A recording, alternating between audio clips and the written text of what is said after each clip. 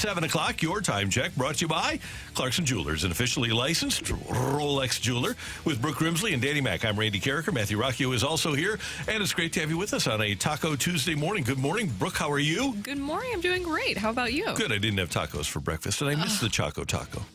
Just two little taco references all right off the bat. I What's a missed the Choco Taco? Oh, it You've was never had one?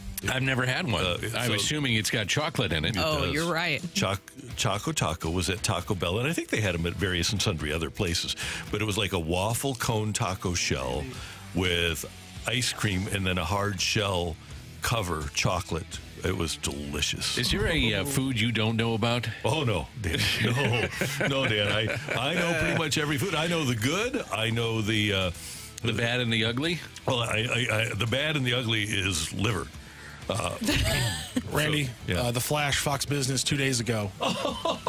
Oh, Choco Tacos returning this summer after partnership between Taco Bell, Salt, and Straw. Yes.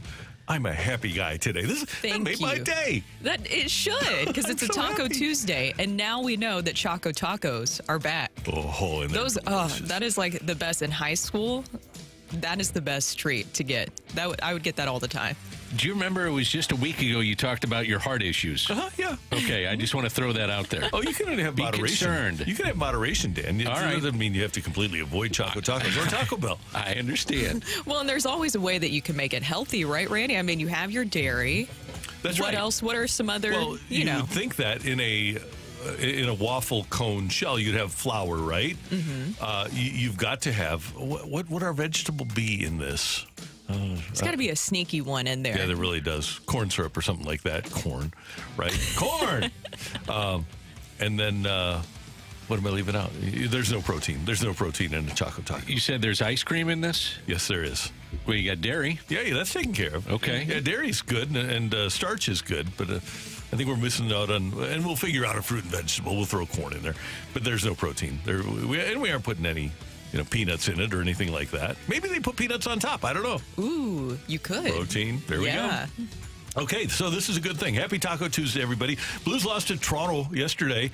Uh, Blues just with no respect for the American presidents. Uh, they fall to Toronto. How is it that Toronto plays harder on a day with for that honors the U.S. presidents than the the American-based team does? I didn't even think about that, Randy.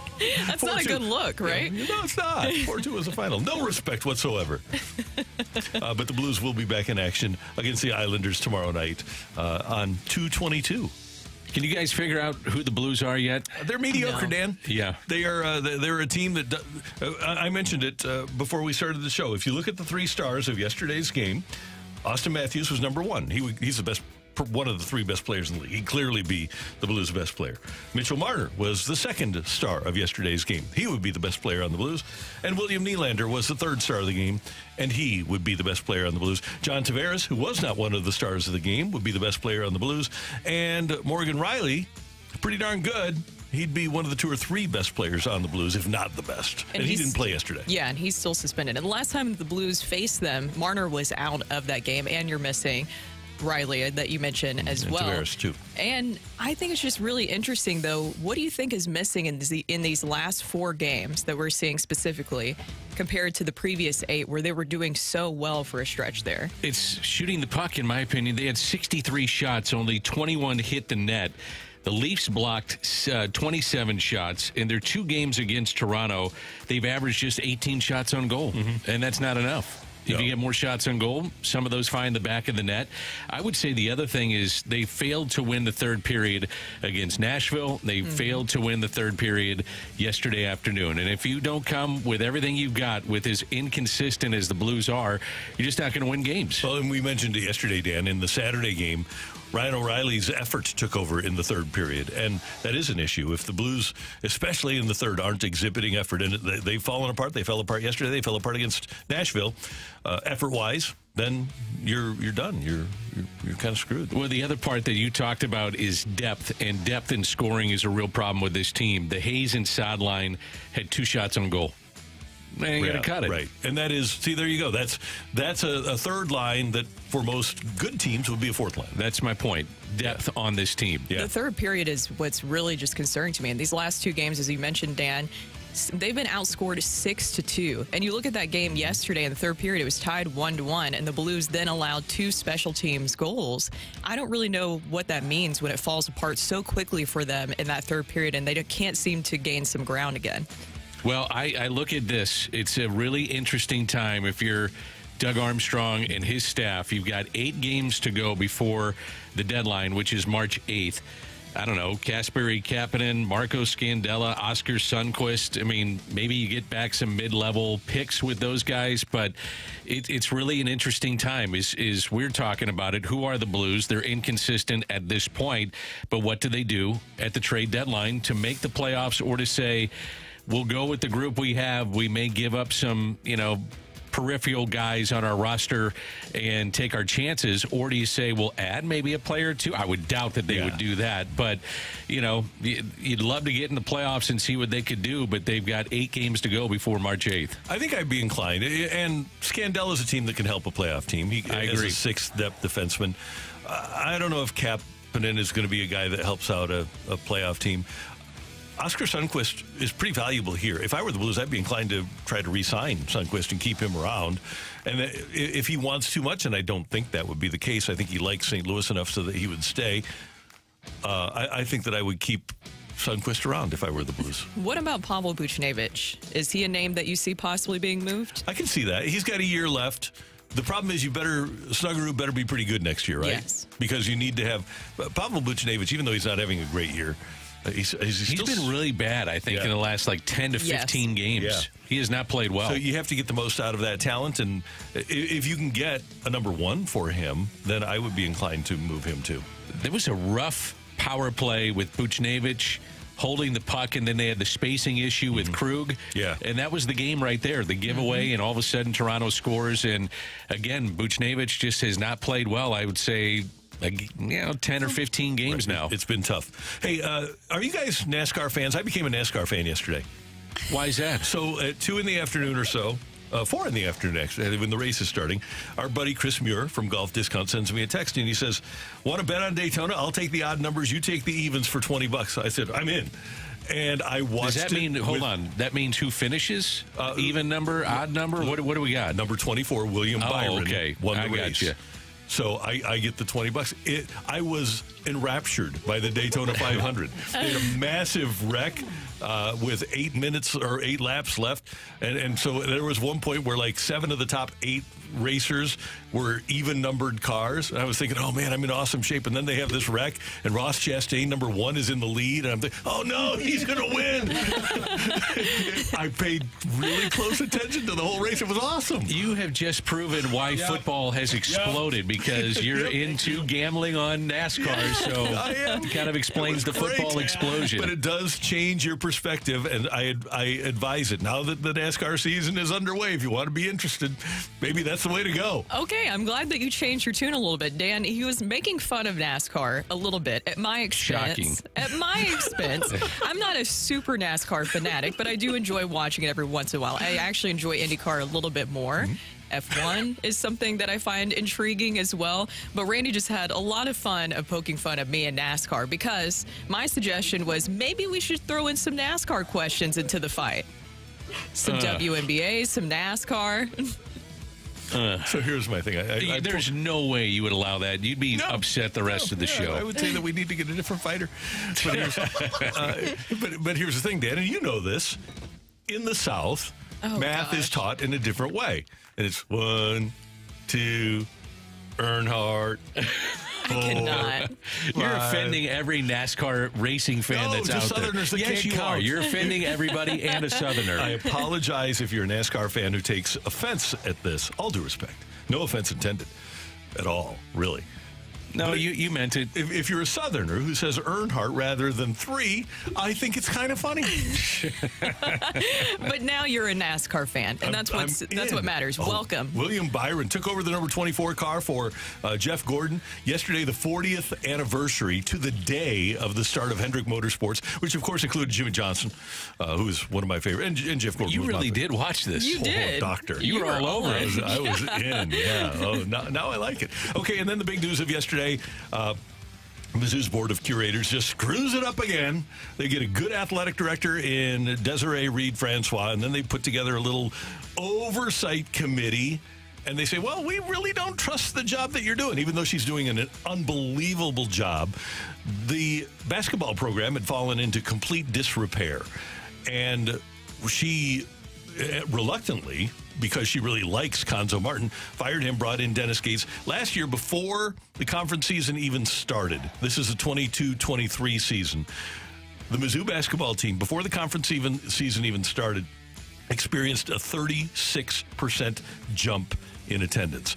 Last year, for the first time in more than 40 years, the football program sold out five consecutive games. Desiree Reed Francois understands that there's a science to getting people into your facilities, especially now in 2024 when people have so many other things to do. And this is a major fox pass on the part of the faux pas for many, uh, on the part of uh, the, the board of curators at the University of Missouri. They're I don't know who did it, and I don't know why they did it. But when Desiree Reed Francois leaves your SEC program to go to a program with $177 million in debts, and she's getting paid less money to go there, you've got a problem that needs to be fixed. And the problem is, is that the people in charge are the problem. It's the board of curators that have caused this, and it's really for the uh, it's not in the big scheme of things a tragic thing, but from a sports standpoint, it is because she's the best they're going to get. They aren't going to get any better than Desiree Reed Francois, and they screwed up. And she deserves a lot of credit for everything that she does. Now, for the person who will be taking over and coming in, I'm very interested on how this will look. Is it really concerning to you guys that you now have this oversight committee that's just going to be looming? Doesn't that, when you hear oversight committee, doesn't that sound a little bit like micromanaging? They're going to micromanage you possibly, and who exactly would want to step into that position, knowing that you're going to have this oversight committee looking over your shoulder? Nobody good. This has been a tough stretch for Missouri. Blake Baker left. You had Kevin Peoples leaving.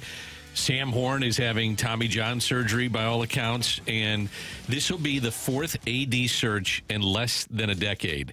And that's an issue at the highest levels. And to go a little bit step uh, step further here, so the move comes just weeks after Missouri's Board of Curators again voted to create the Missouri Intercollegiate Athletics Special Committee. It's a four member panel to monitor uh, Mizzou sports. And I'm with you guys. It, it just is ugly. And, and Randy, you talked about it.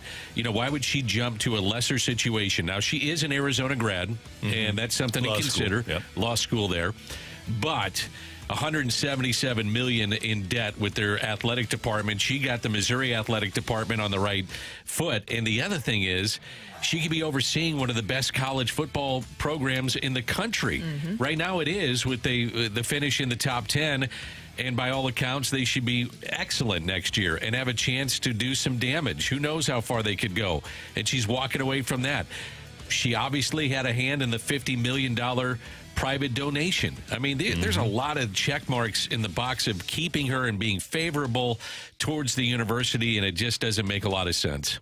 By at the, all. No, it, it doesn't. And by the way, the University of Arizona, I told this story a little bit earlier when it came out back in November. Do you guys remember this? But this is the same university that somehow lost $240 million. Do you guys remember that story? oh, story? Yeah, right, yeah. It's it's so it's not a great situation to exactly no. go into, but I, it goes back to the board of curators and that oversight committee.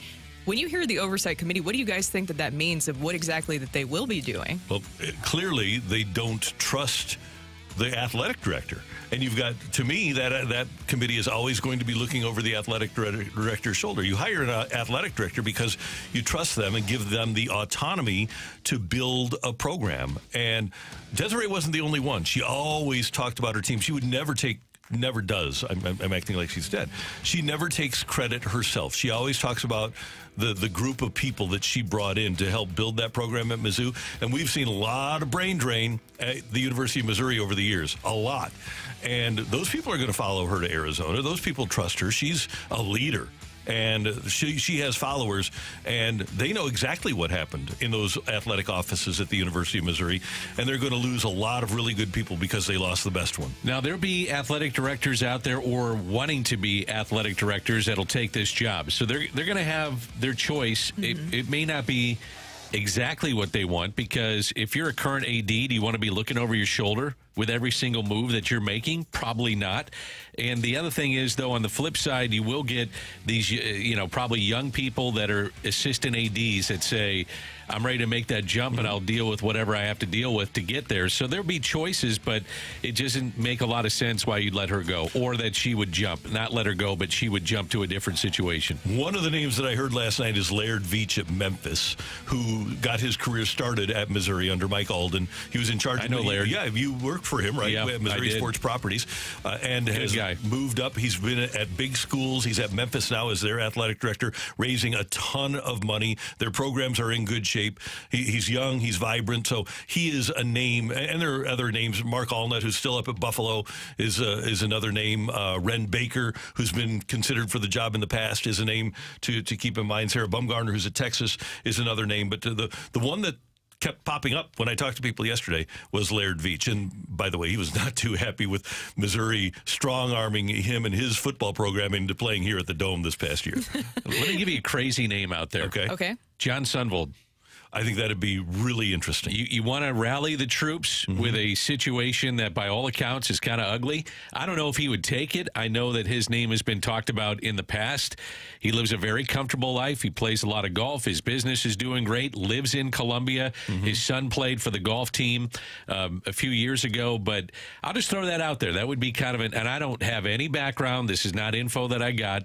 Um, but he would be an interesting guy just to have his name in the ring if he would want to do it. I- am I too crazy with this? No, I, I don't think so. I just wonder how much that job has changed over the years so that you you really have to be a specialist. Can you imagine though the money he'd probably be able to raise with his connections right. and getting indoors? Yeah, all the, uh, all he'd the have a ton. He, yeah, he could bring it all back together.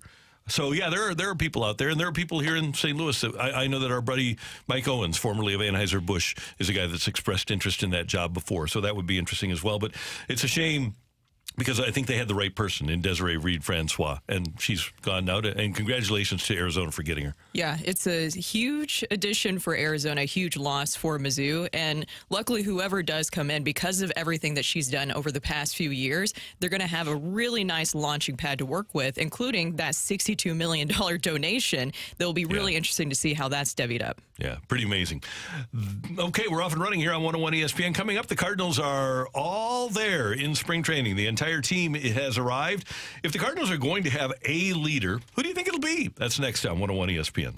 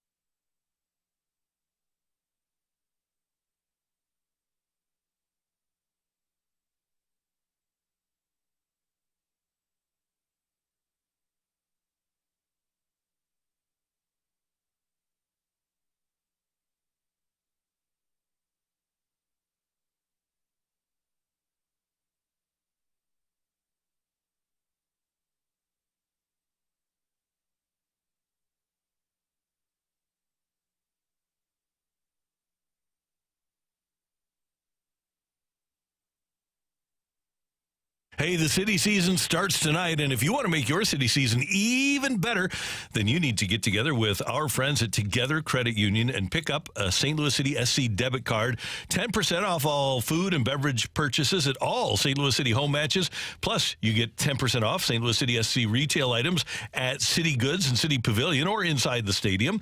And you get priority access to purchase tickets. And this is really cool. You have an opportunity to get in fast to the stadium when you have City SC debit card from Together Credit Union. And right now, there's some great things that you can do with your money to make it grow at Together Credit Union. CDs are a great way to grow your hard earned money. Right now, they're offering a competitive nine month certificate of deposit with an APY of 5.00%, required minimum balance of $1,000. Visit your nearest Together Credit Union branch or go online to togethercu.org for details. And start growing your savings today, stop by and become a member at Together Credit Union. Early withdrawal penalties apply and may reduce earnings on the account. Rate offers are accurate as of January 18th, respectively. Rates are subject to change without notice. Other rates and terms available. Membership eligibility required. Federally insured by the NCUA.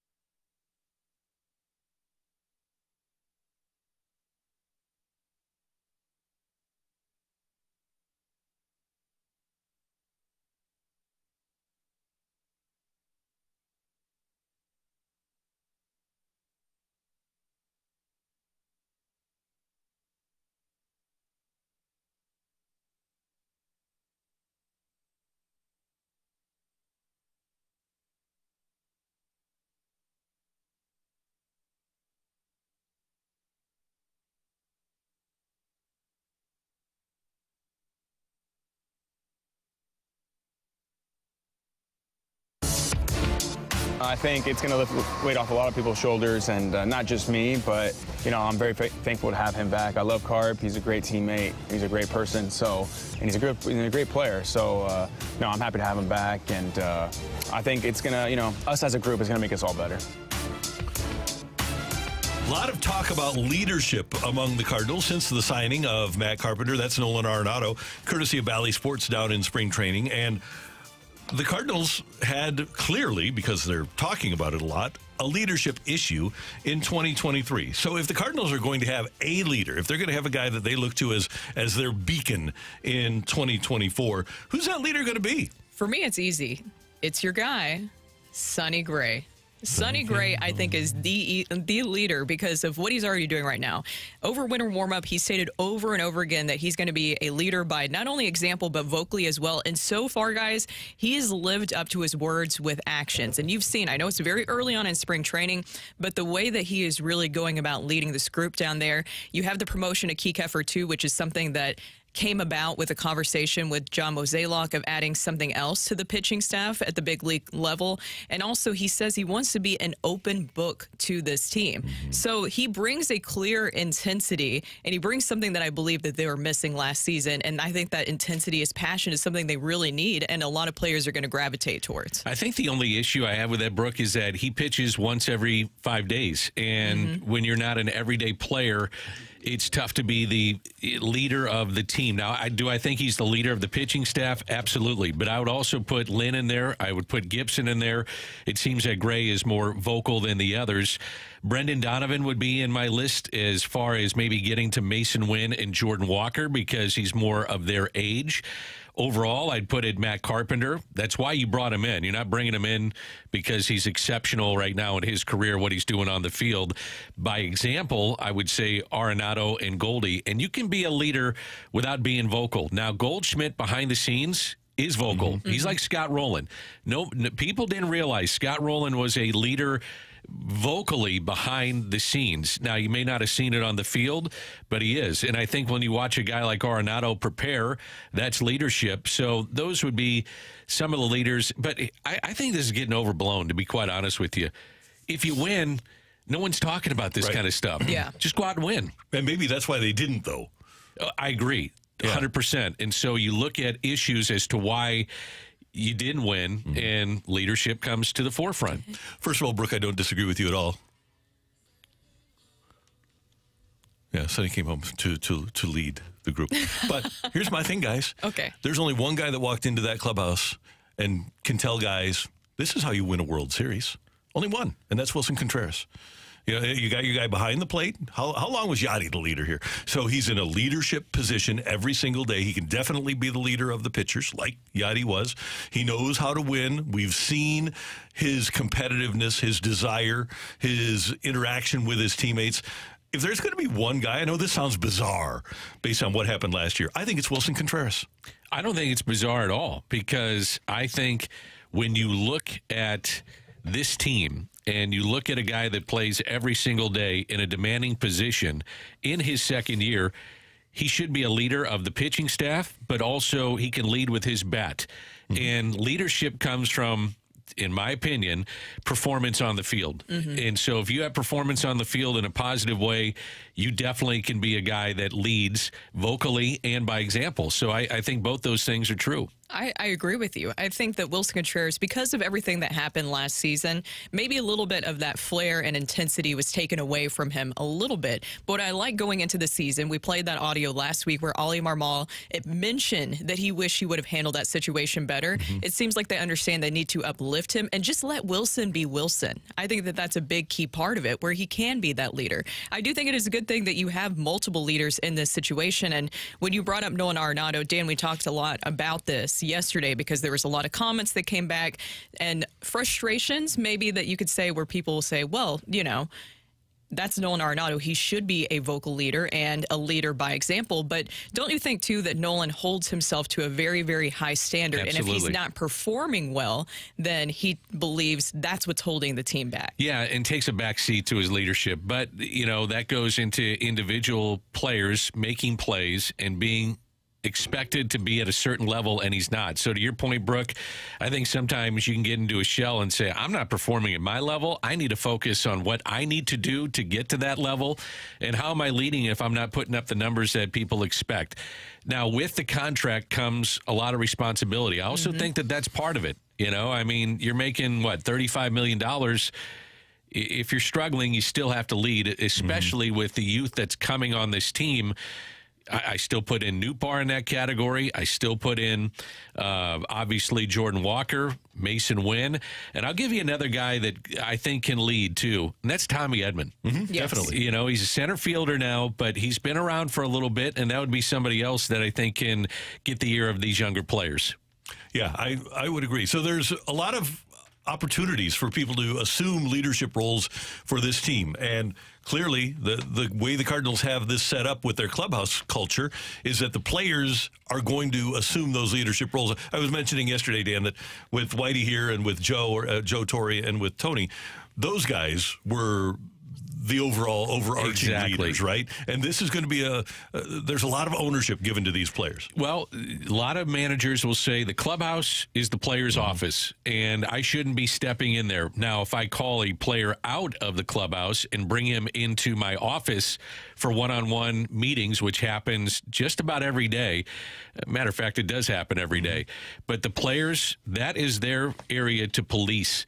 You know what I mean? And that's eh, so you expect certain guys to speak up when need be, or sometimes you don't say a word. You just give somebody and put your arm around them and a little pat on the butt and say, go get them. Absolutely. That's Dan. That's Brooke. I'm Randy. Coming up, City SC opens up their season tonight with a CONCACAF Cup matchup over at City Park. So City Park, uh, City picked anywhere from fourth to tenth in their conference not getting much respect, are they? That's next on 101 ESPN.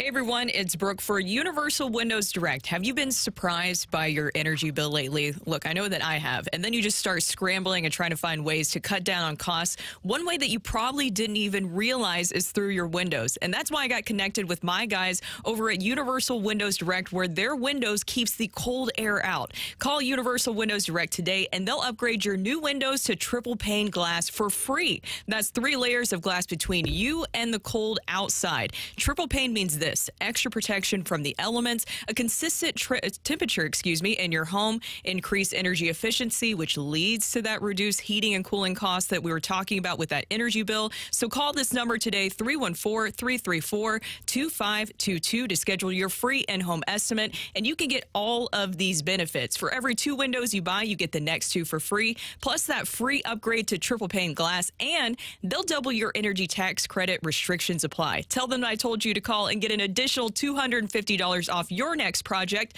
for the last windows you'll ever need. Go to universalwindowsdirect.com. Like me, you'll be saying, I love my windows.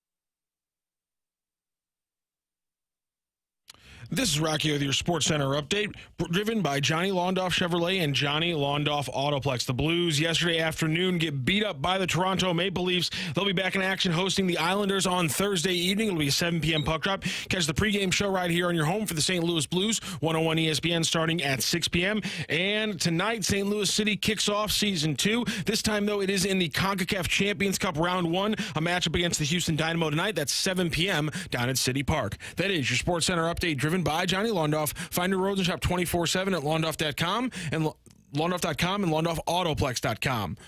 Are you kidding me?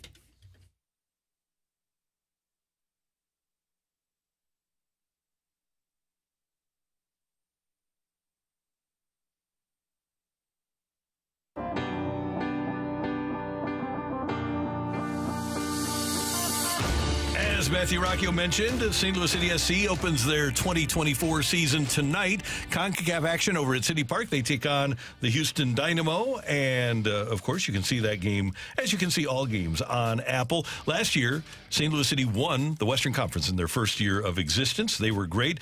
This year, the experts over at MLSsoccer.com have made their predictions. And, oh, by the way, last year they had St. Louis City finishing last in the Western Conference. This year they have Seattle winning the West. They have LAFC finishing second. Sporting KC, or just Kansas City. Is that right? Yeah. Or Kansas, Sporting Kansas, right? Sporting Kansas. Yeah, there you go. They've got them third, FC Dallas fourth, and then City is picked fifth ahead of Houston. So, first of all, after the great first season for City SC, how do you feel about a fifth place prediction for this year? Well, let me let me just throw this out there, and maybe Matthew can help us out. CONCACAF, Matthew, if you can describe it for fans that are out there, and then they start the regular season with MLS. So it's a busy couple of weeks. Yeah, so they have CONCACAF essentially. It's you take the champions or the top teams from um, all the North American and uh, Mexican and some of the Caribbean leagues, and you put them into a uh, tournament that started with 27 teams.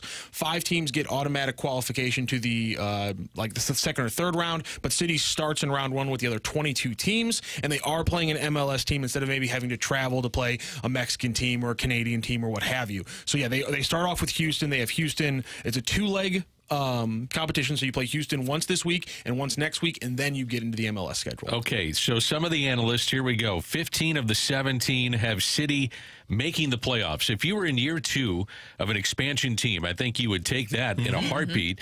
Six of the 17 with a home field playoff game. I, I, think a few things to look at. Will Bürki have a regression? He was so good a year ago. Klauss, is he healthy? That's going to be something you watch. And how you just come out of uh, responding for the first two weeks. It is a busy first two weeks. It's a demanding sport, even though they don't play back to back on night after night after night, but a demanding sport. So those are some of the things I'm looking at as they kick it off tonight. I, that's what I'm looking forward to. I, I honestly like when City SC kind of comes in I wouldn't say as an underdog or maybe not expected to do as well because it worked out well for him last season. And you even have, we had Samuel Adeniran on and he talked about how it was bulletin board material, the fact that so many people nationally didn't think that they would be able to do what they accomplished in their first inaugural season. And I think the second follow up is going to be even better for City SC because you have that experience with Roman Bürki. It was his first time in the MLS. So now he has a year of that, a season of that under his belt. You also have the addition of Nicholas Dyhr, and he's the left back that they had just signed recently from Denmark on a three year contract. Now, I don't know if he's actually going to be playing tonight. I think it was kind of up in the air currently. Yeah, so they, they talked about that um, yesterday, and pretty much until you play 75 minutes in a game, Carnell doesn't feel comfortable playing you 90. And mm-hmm. so he's played 30, 30, He just 40, got here three yeah, weeks ago. And he's played 30, 30, and 45 in the three friendlies that he's played. And so he's not up yet to that 75, 90 minute mark. So if Dyhr does play tonight, it will be probably off the bench in the 60th minute if he does play. And they got a lot of production last year, City did, out of Nicholas Gioacchini. And he's gone. He's moved on to. Uh, Como, Como in yeah, over he gets to overlook Lake Como so uh, that is good one. for him. Oh, darn.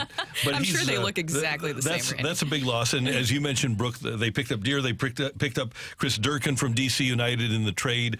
Uh, that uh, that, that sent uh, Jared Stroud to D.C. and then Tomas Totland, uh, long linked with an, the MLS. He's finally here, so their their talent level should be enhanced a little bit. But one of the things that happened down the stretch is the opposition kind of caught up with their approach. And so Carnell, with different players, is going to have to have a little bit different approach this year than he had last year as well. Well, and I think a lot oh, of go that. ahead. Oh, I'm sorry. No, I, go ahead, Brooke. I think it also had to do a lot with injuries as well. And João Klauss being fully healthy this season, or as healthy as possible, I think is going to be a big key part of that because when you're talking about that stretch towards the end, it took a while for him to get back from injury. I think it's going to be a nut house down there. I mean, Oh, people yeah. go Yes. crazy over this. Like Christmas morning, if you're a soccer fan here in St. Louis, and City SC President Diego Gigliani will be our guest at 9:15. So, looking forward to asking him. If you know what changes would you make to the game day experience down there? It's about as good as it gets. I don't know what you do differently outside of maybe getting past KC in the first round. Other, other than that, yeah, I think a good question to ask him because I've heard this from a lot of people. I'm sure you guys did as well because it was the first season was just getting into the game and ticket prices, which of course supply and demand. Everybody, it was the hottest ticket in town, so of course Mm-hmm. you want to go. But I wonder if they're going to make it a little bit more accessible this season for everybody. I think after winning, it probably will be less accessible. Uh, Yeah. After having the success they had, that they had last year and the lack of success that the Cardinals enjoyed, seems like a lot of the money is being transferred for from the Cardinals this year to St. Louis City SC. you had such a core base of soccer fans here in St. Louis that it didn't matter who came here. If if, if the games were going to be uh, played in the MLS, I mean, they would have supported anything. They they just love soccer. But I do think that they have brought in. Um, the casual fan. I, I think the casual fan is saying, you know what, this is cool. I may not understand everything that's going on in the field, but if I go down there with my kids, have a great experience, I'm coming back. And I think that's what I've heard from a lot of people that are sports fans here in town. Yes, I love the Cardinals. Yes, I love the Blues, but I went to a city game and I was sold. Mhm. And some of my, you know, discretionary income is going to go to city to go take in a couple of games. I don't know about you guys, but in my own neighborhood, I see a lot of City SC flags. I see City SC bumper stickers. And Dan, you were around, and Randy too. But Dan, I remember seeing you at those alderman meetings when Carolyn Kindle was advocating so hard for getting City SC here, an MLS team here, and building that stadium. I think the fans have matched the energy that this ownership group has brought, and you're seeing it just play out in such a beautiful way. That, to me, it was one of the most exciting environments that I have been around is going to those City SC games because it was just so exciting. The energy, the fans standing the entire time, the intensity from the fans was just so fun to watch. you knew that the Taylor family would not screw this up. No. I mean, they they've done so much for St. Louis Soldiers Memorial, the Arch Grounds. I mean, that barely touches the surface of what St. Louis means to them and what you know what the uh, the other thing is what St. Louis has gotten out of the Taylor family in in such a charitable way. They weren't going to screw this thing up, and they've come in, done everything. It seems like from the outside looking in properly. And if there have been issues, it's been behind the scenes. But in terms of the core group of soccer fans, they got what they wanted, and the casual fan is coming in. Got here in a hurry. It's February 20th, and the opener is tonight over at City Park for St. Louis City SC against Houston. That's Dan. That's Brooke. I'm Randy. And coming up, we've got Take It or Leave It. Get your text into the Air Comfort Service text line 314 399 9646 314 399 Yo ho! Take it or Yo leave it. ho. Thank you, Dan. No There problem. go. Yo ho. I gave you two. Tioli next on 101 ESPN.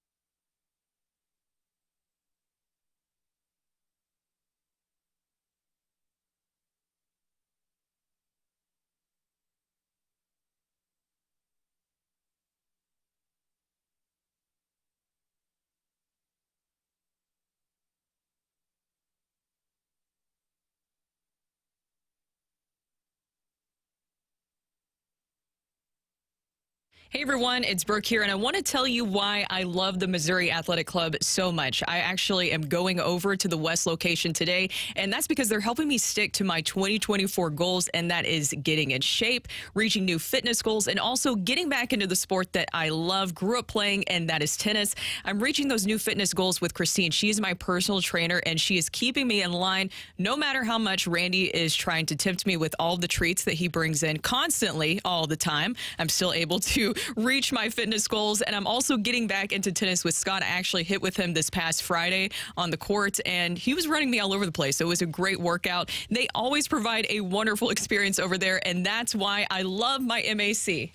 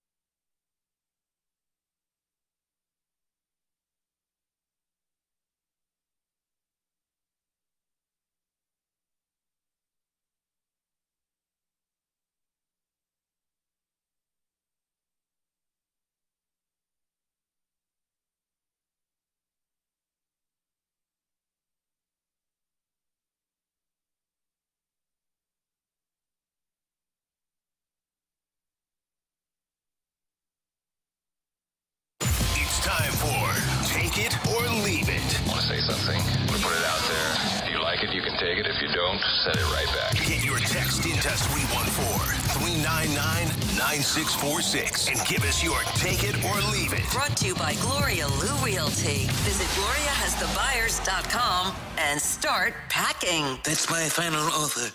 Take it or leave it.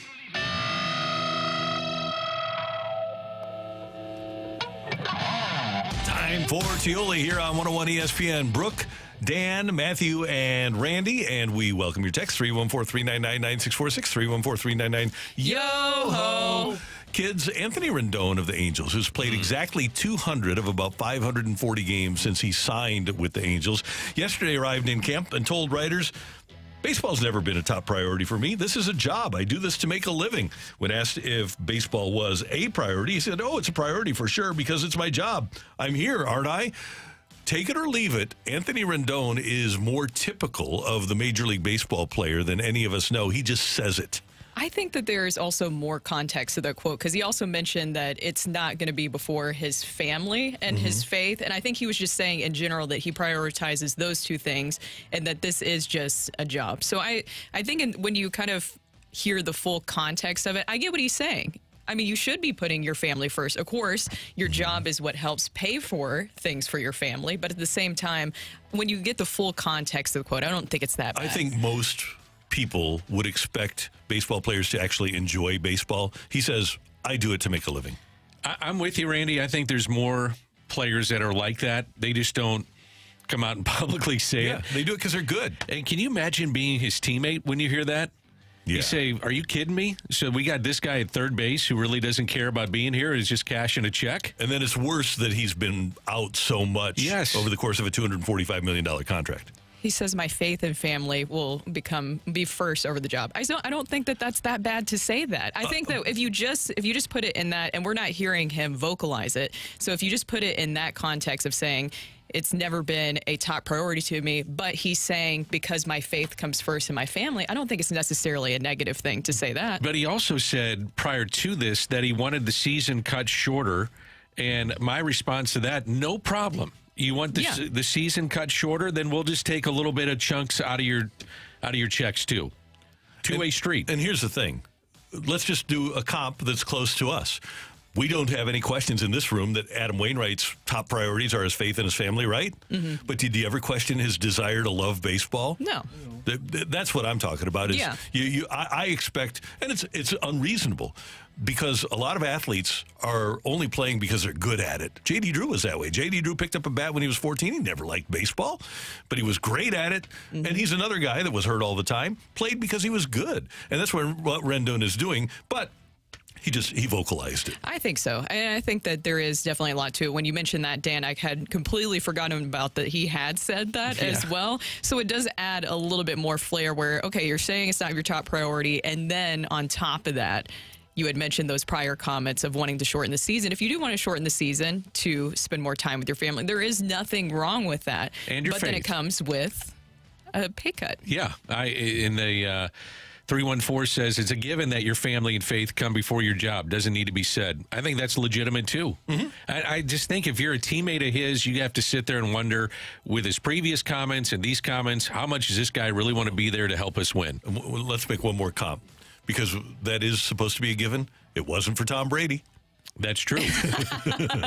yeah, just ask Gisele how that went Yeah, over. exactly. So take it or leave it, guys. Uh, LeBron James says that he is 50 50 on if he will have an actual farewell tour or if he will just Tim Duncan it. Take it or leave it. There's no way that LeBron James will not have an actual farewell tour. Totally take that. Yeah, he's going to have a course he farewell will. tour. He's he going to have a wants so much attention. He gets attention. He floats out there with his agents that he could be traded. Of course, he wants the attention. I think that maybe he just kind of wants to build up some anticipation where it's like, no, no, no, you do need to do your farewell, farewell tour. Doesn't it feel like that? I, I don't think it's a bad thing for the NBA though either. No. To have a farewell tour for some of your great players, I think it's good. I, you get a lot of exposure out of it. It's kind of fun gifts that you give the guy. Um, here's the question I have: When will the fairway farewell tour take place? He's what 38, 39, and playing at such a high level. He has mentioned on the record he wants to play with his son. I don't think his son's an NBA player, at least not yet. But uh, I would anticipate that he stays and gets and just squeezes the most that he can out of this thing. I think they both play with the Lakers next year. You think Bronny does? hmm I think they draft him. He might not play much, but he'll be the twelfth guy, and I, that's how he he LeBron ends his career on the same team with his son in L.A. He has Be that amazing. he wants that. Yeah. All right, take it or leave it. This is why we love sports. Out of the zone is flipped ahead. As Julian got it up Mahar. Mahar looking to center it. Did. Score! To Julian out in front. Goal number two in the game. And it's a goal-ahead goal. Five to four.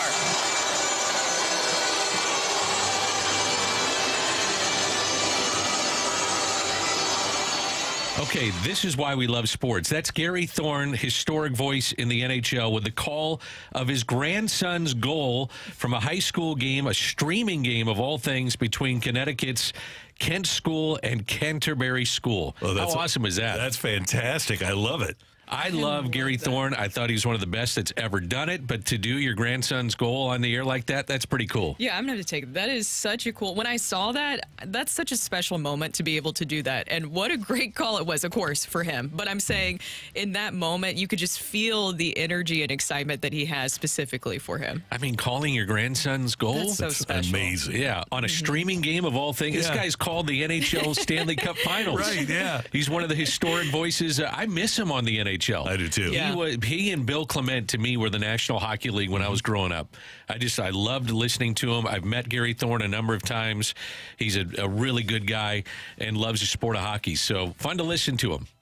All right, Matthew, what do you got on the text line? Take it or leave it. You're having second thoughts on the Blues making the playoffs. Uh, I'm going to leave it. They're right where I expected them to be, right in the hunt. Right there. Yep. Well, I mean, They've had their down moments this year. They're they up have. moments. Yes. So do you think they're in or out? I think they're there on the last day of the season. It goes down to the last day of the season. I Mm-hmm. Yeah. like that. Did you guys see the game last night? Minnesota, or I guess it was yesterday afternoon, Minnesota over Vancouver 10 7. And it shows you how wild these final spots, not a pun intended here, but that's how wild it's going to be now going down the stretch with some of these teams. Yeah. Three hat tricks in the game, and Minnesota scores six goals in a five minute and 45 second span. It was awesome. It was So great. take it or leave it. It's like baseball. Do you want a high scoring game like that, or do you want a 1 1 game that comes down to a shootout? I, I want it to come down to a shootout. Me too.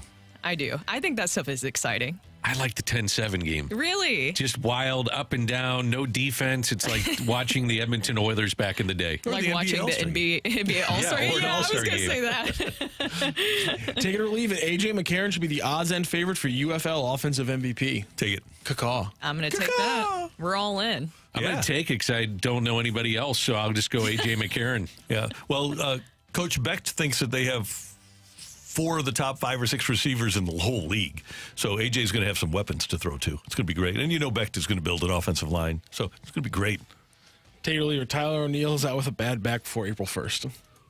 I'm going to leave that. I bet Tyler O'Neill plays 140 games. He's a free agent to be. Dan. He's represented by Scott Boras, and he's going to wind up playing playing through injury, and he's going to get a payday of some sort because it's his final year before his contract expires. Okay, follow up question for you. If he does do that, do you get more upset? I'm just saying that, of course, you wish a player success, but do you get more upset with him because you wish he could have done that? Or do you look at the Cardinals and say, why couldn't you get that out of him? Oh, I think it's totally on him. I agree with I, you. I think he just said, I'm not going to play through injury. I've got too much on the line, and I want to make the most money I can. Yeah, that's uh, the MO of Boras clients.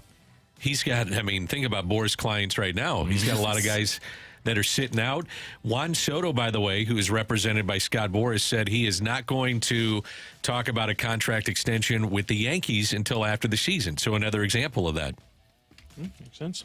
Take it or leave it. When the Blues play better competition, it's like when the Pirates play the Dodgers. The talent gap is noticeable.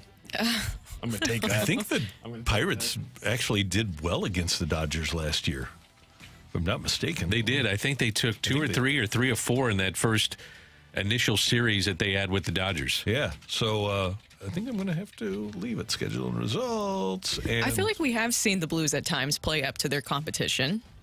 It's just sometimes on a consistent basis. But when you're talking specifically about the Maple Leafs, and we discussed this earlier, yeah, you could see a gap in the talent there. Well, the depth of talent. Yeah, there's no doubt about that, right? Yes. It's just uh, it's it's unfortunate, but if you if you ask most NHL observers, they would say, yeah, that the, the talent gap between the Blues and top teams is pretty substantial. Take it or leave it. Wilking Rodriguez wins NL reliever of the year. Take it. Yep. yep. I'm going to go ahead and leave that. Roll age relief, man. it's a guy. I'll just take it just for funsies. Funsies. funsies, yes. I like it. Do you have one more? Take it or leave it. Yeah, let's get one more if we have it. Take it or leave it. Jordan Montgomery takes a shorter than four year deal in free agency. I'm going to take that, guys, because I think that uh, teams are are not going to give in now. Now that spring training has started, y- the first year might be a wash. It happens when guys show up late, so you don't know what you're going to get out of Jordan Montgomery. So I would say a three-year deal would probably be something that, along the lines of what teams are going to be offering. If you hear that he signs a three year deal, do you wish that the Cardinals would have gone out and gotten him? Depends on the money. Yeah. How much money it would cost. I'm going to leave it because I think there'll be teams that deal with injuries, maybe big market teams, mm-hmm. and out of desperation, like Boras is saying, I'm sure to his clients, there's going to be injuries, there's going to be desperation, and we're going to wind up getting you the deal that you want. And apparently, there are three teams interested in Blake Snell: Yankees. Who were the, there, there were three oh, yesterday. that. Giants, and then there was one Angels. more. Yes. So, uh, according to Boras, he's got people that are competing. I don't know if teams believe Boras as much as they used to, though. One more. All right. Uh, I like this one. Take it or leave it. The amount of money NBA players make now, there's no legitimate way to fix All Star Weekend. Take it. Yeah, I'll, I'll take that. Take it for sure. I mean, if you offer these guys, let's say just a million, bu- I mean, a lot, I say just a million bucks to play in the All Star game with an incentive to win it for another million bucks. What, what, I mean, LeBron's making 51 million. Think he cares? Mm-hmm. He's, he's, he's a billion dollar player. He doesn't care about that. Although it seems like he enjoyed that in-season tournament. But right, he, did, he talked yeah. about the five hundred thousand dollars, how that was a, a big deal to him. But I think with this, it, it is. It's an exhibition, and it's not going to be. It's a shooting contest. It's a different sort of basketball game, but it's a shooting contest. I loved Adam Silver when he handed over the uh, trophies. Like, okay, the winners. Well, he said, "Well, here you go." He scored the most He said, points. "Where?" well, and they do get some sort of prize, cash prize, right? Yeah. They do. Maybe it just goes to your charity. Do you make it a little bit bigger? But then, as you mentioned, they already are making so much money. Is that even a good enough incentive? I'm, it's it's one day. The, I, I don't have great expectations of All Star games now, anyway. So I think it is what it is. I'll, I'll just deal with it and you know move on to the next day. That's take it or leave it on, on 101 ESPN. Coming up with Desiree Reed Francois leaving Mizzou. What's that say about Mizzou's athletic department? And does it say anything about Arizona's? That's next on 101 ESPN.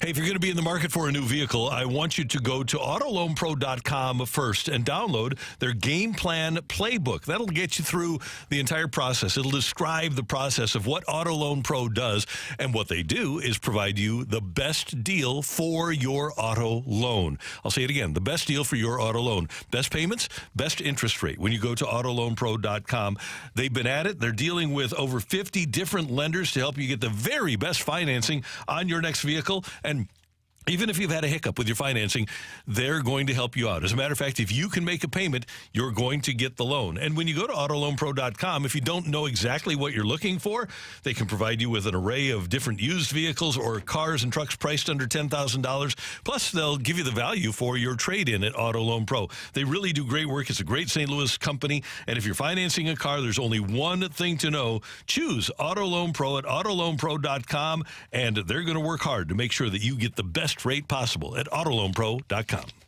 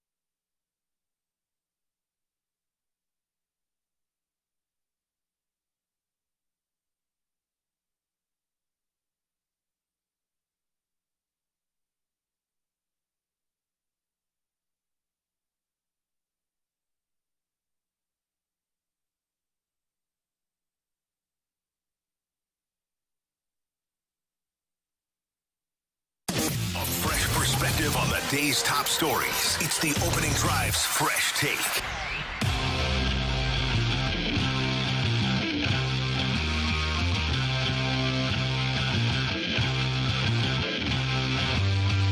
I'll continue to say this. Um, she she has been very supportive to us, and during our road trip, uh, she was present at Ole Miss. So I look at ads who are supportive, ads who's not. We have one and had one that was very supportive, uh, and she was on just on the trip. So uh, that's how I look at it. I don't, you know, look at the tomorrows and the yesterdays. Here we are today, and we have a situation where we have a AD opening. That's Mizzou basketball coach Dennis Gates on the departure of Desiree Reed Francois as athletic director to the University of Arizona. It's 807 time check brought to you by Clarkson Jewelers, an officially licensed Rolex jeweler. Brooke, Dan, Randy, and as a coach, I'm sure that all of those guys, Dennis Gates and all, all the people that are coaching at the University of Missouri, Dennis Gates and Eli Drinkwitz, chief among them because they're in the revenue sports, they appreciate the fact that the athletic director has their back at all times, attends every game, home and road, always is supportive of them. And then you have the Mizzou Board of Curators that apparently doesn't have the back of the athletic director. And if you hadn't seen earlier this month, the uh, board of curators at the University of Missouri announced a new oversight committee aimed at focusing on athletics, one that called for accountability from the athletic department to the board of curators. Well, for me, when you hire an athletic director, you hire them to direct athletics and you give them autonomy and in any walk of life. If you're a leader, you hire good people and let them do their job.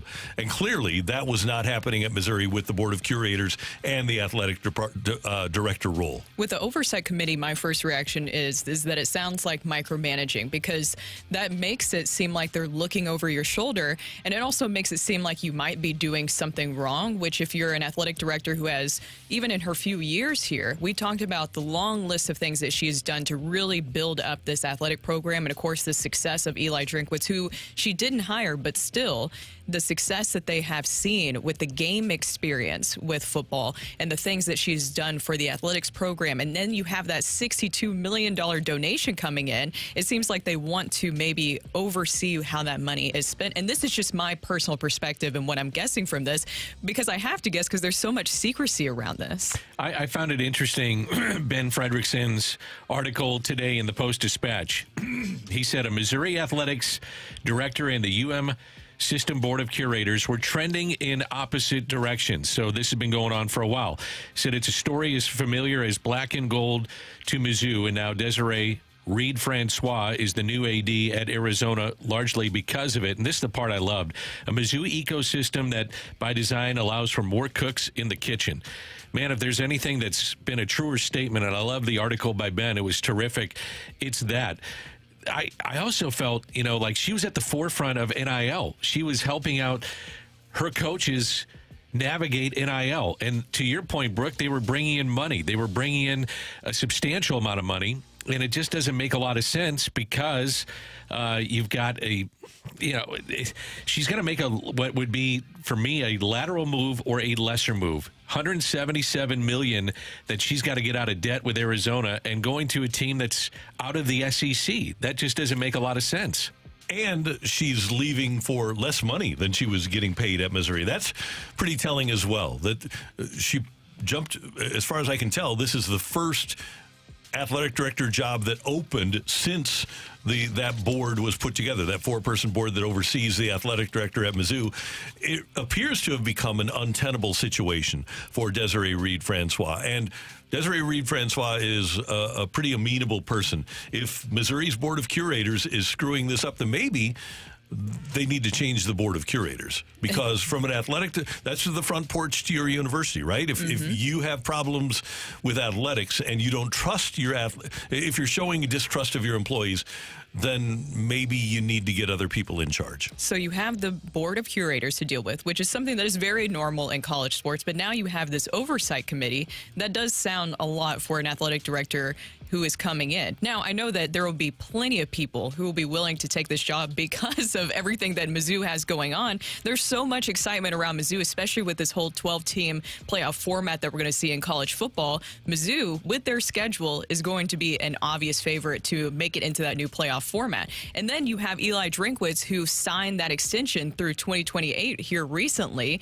There's a lot of excitement around this program right now, so I'm sure a lot of people will jump at the chance. I'm just worried about this oversight committee and what exactly they will be doing and how much that might hamper building around the success even more and just letting an athletic director be an athletic director. I, I'm going to throw some names out there, and and this is just me off the top of my head, but Doug Gillen, deputy uh, deputy AD at Mizzou, he was at the beginning of the SEC era. He hired Drink. Uh, Sarah Baumgartner, who is currently the executive senior associate AD at Texas. She was a lead uh, fundraiser at Mizzou for many years. Mark Alnutt played at Mizzou um, and has risen above a lot of levels that I think people thought. He is currently the AD at Buffalo. Laird Veatch, who we talked about before, Mizzou ties from his days at Learfield and Mizzou Sports Properties.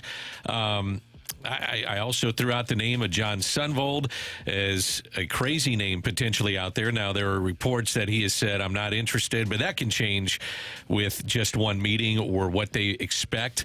Um, what would you do for an interim AD? Would you think like Gary Pinkel? You know, somebody that just to bridge the gap until that next person. Again, I'm just throwing names out there, but it will be a desirable job. It's just a matter of if that person says, I'm not dealing with the board of curators, I don't want somebody looking over mm-hmm. my shoulder with every move I make. I think that's an issue that they're going to have to come to grips with. If you're going to have quality people in place, and by the way, uh, a former Mizzou uh, assistant to Mike Alden, Ross Bjork, just got maybe the best athletic director's job in the country at Ohio State. He had been at Texas A&M. But there's a lot of former Mizzou people out there. But right now, with the way things are set up, they all know how good Desiree Reed Francois is. I, I got a text from another uh, Division One athletic director who said, uh, "Hold on, let me get to this." Uh, can't believe Mizzou let Desiree get away. Couldn't agree with you more. I have followed her since she was at Wake Forest. She's the real deal. This is the way other athletic directors are feeling about Desiree Reed Francois. So if she's being treated that way at Mizzou, why would you give Mizzou the opportunity to hire you if you're good? Yeah, I, I'm very interested to see how they will handle this because another question for you guys How do you think that Eli Drinkwitz, I know he put out a nice little statement wishing her the best and thanked her for everything that she's done with the program, but is this not the third athletic director that he's worked with during his tenure there at Missouri? In Missouri you me? just hit the nail on the head, Brooke. I wonder if there behind the scenes or issues with Drinkwitz and Desiree Reed Francois, mm. and the board of curators comes in and says, "Drink is our guy." You know, we've paid him a lot of money, and he's taking this to a different level. And if you have issues with her, that's it.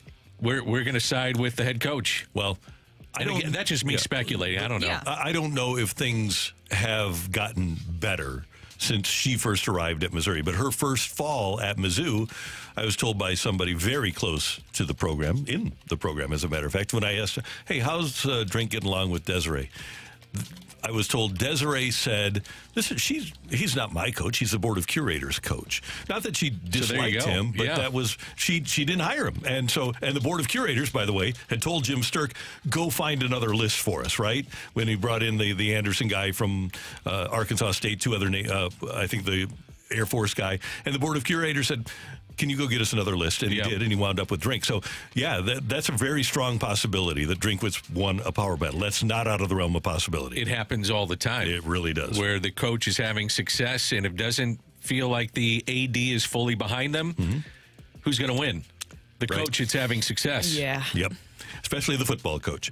That's Dan. That's Brooke. I'm Randy. Coming up here on 101 ESPN, we've got John Kelly, the TV voice of the Blues, talking about yesterday's game. And let's go happy, Sunshine Lollipops. Let's talk about playing the Islanders tomorrow here on 101 ESPN.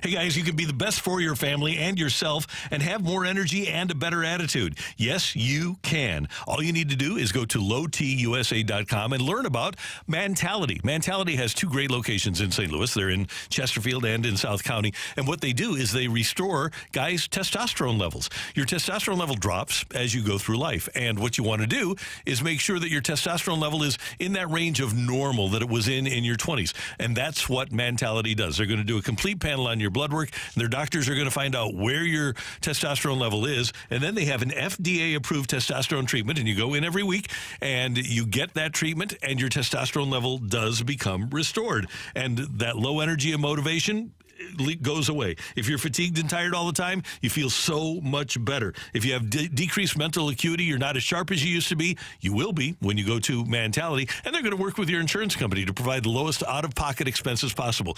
Get to Mantality. Get started today at lowtusa.com.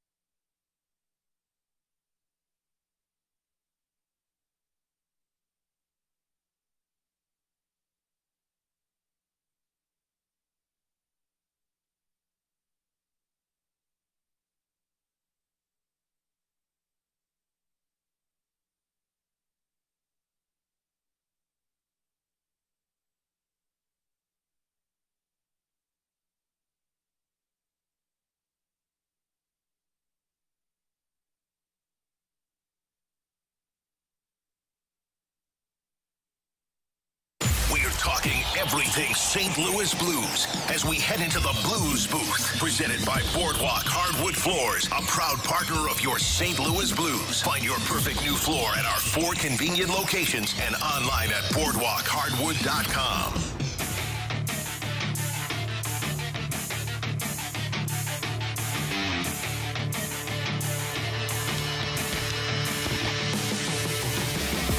Another tough one for the Blues yesterday over at Enterprise Center as they fall 4 2 to the Toronto Maple Leafs. Blues did make it interesting late, and then an empty net goal put it away for the Maple Leafs. Joining us now is the TV voice of the Blues, John Kelly, who joins us every Tuesday morning here on 101 ESPN. JK, good morning. How you doing? I'm doing well. How are you, Randy? Everything's good. It was just one of those, and granted, the Blues did have a chance at the end, but when the top three stars are Matthews, Marner, Nylander, that's a lot of talent that's playing pretty well for Toronto. Yeah, their top players are really good. And I think, you know, the bottom line, a couple of things to me, the difference in the game was obviously the shorthanded goal. Um, aside from that, it was a fairly even game, but you know, it's a, it's a, it's a tight game and you're down by one and you have a power play, a chance to tie the game and you give up a shorthanded goal. That's a real kick in the gut. I think the other thing is, and it really goes back as well to the loss in Toronto um, last week, um, the Leafs without Morgan Rielly, their top defenseman, and the Blues score one goal in Toronto, and then last night or yesterday they score zero goals, five on five. So they don't take advantage of Toronto with a depleted defense, and even with Rielly, they don't have the, the best defense in the NHL. So they don't score a five on five goal yesterday uh, against, to me, which is a very average defense. And I think that's the other difference in the game is that you've got to score five on five goals, and the Blues couldn't capitalize with Rielly's absence. Well, JK, also just kind of looking at some of these overall games here recently, what are you seeing as the difference between these last four games in contrast to the previous eight where they were playing consistently pretty well? Well, you know, Brooke, they had won eight of 10, so that's a really good run, and now they've lost two in a row. So, I mean, obviously they were due for um, some kind of pullback, right? They just can't keep winning eight of ten every ten you know game segment. So you know, obviously, I think that the biggest thing to me is they're they're not generating a lot of attack five on five, especially off the forecheck, and that's hard to do game in and game out.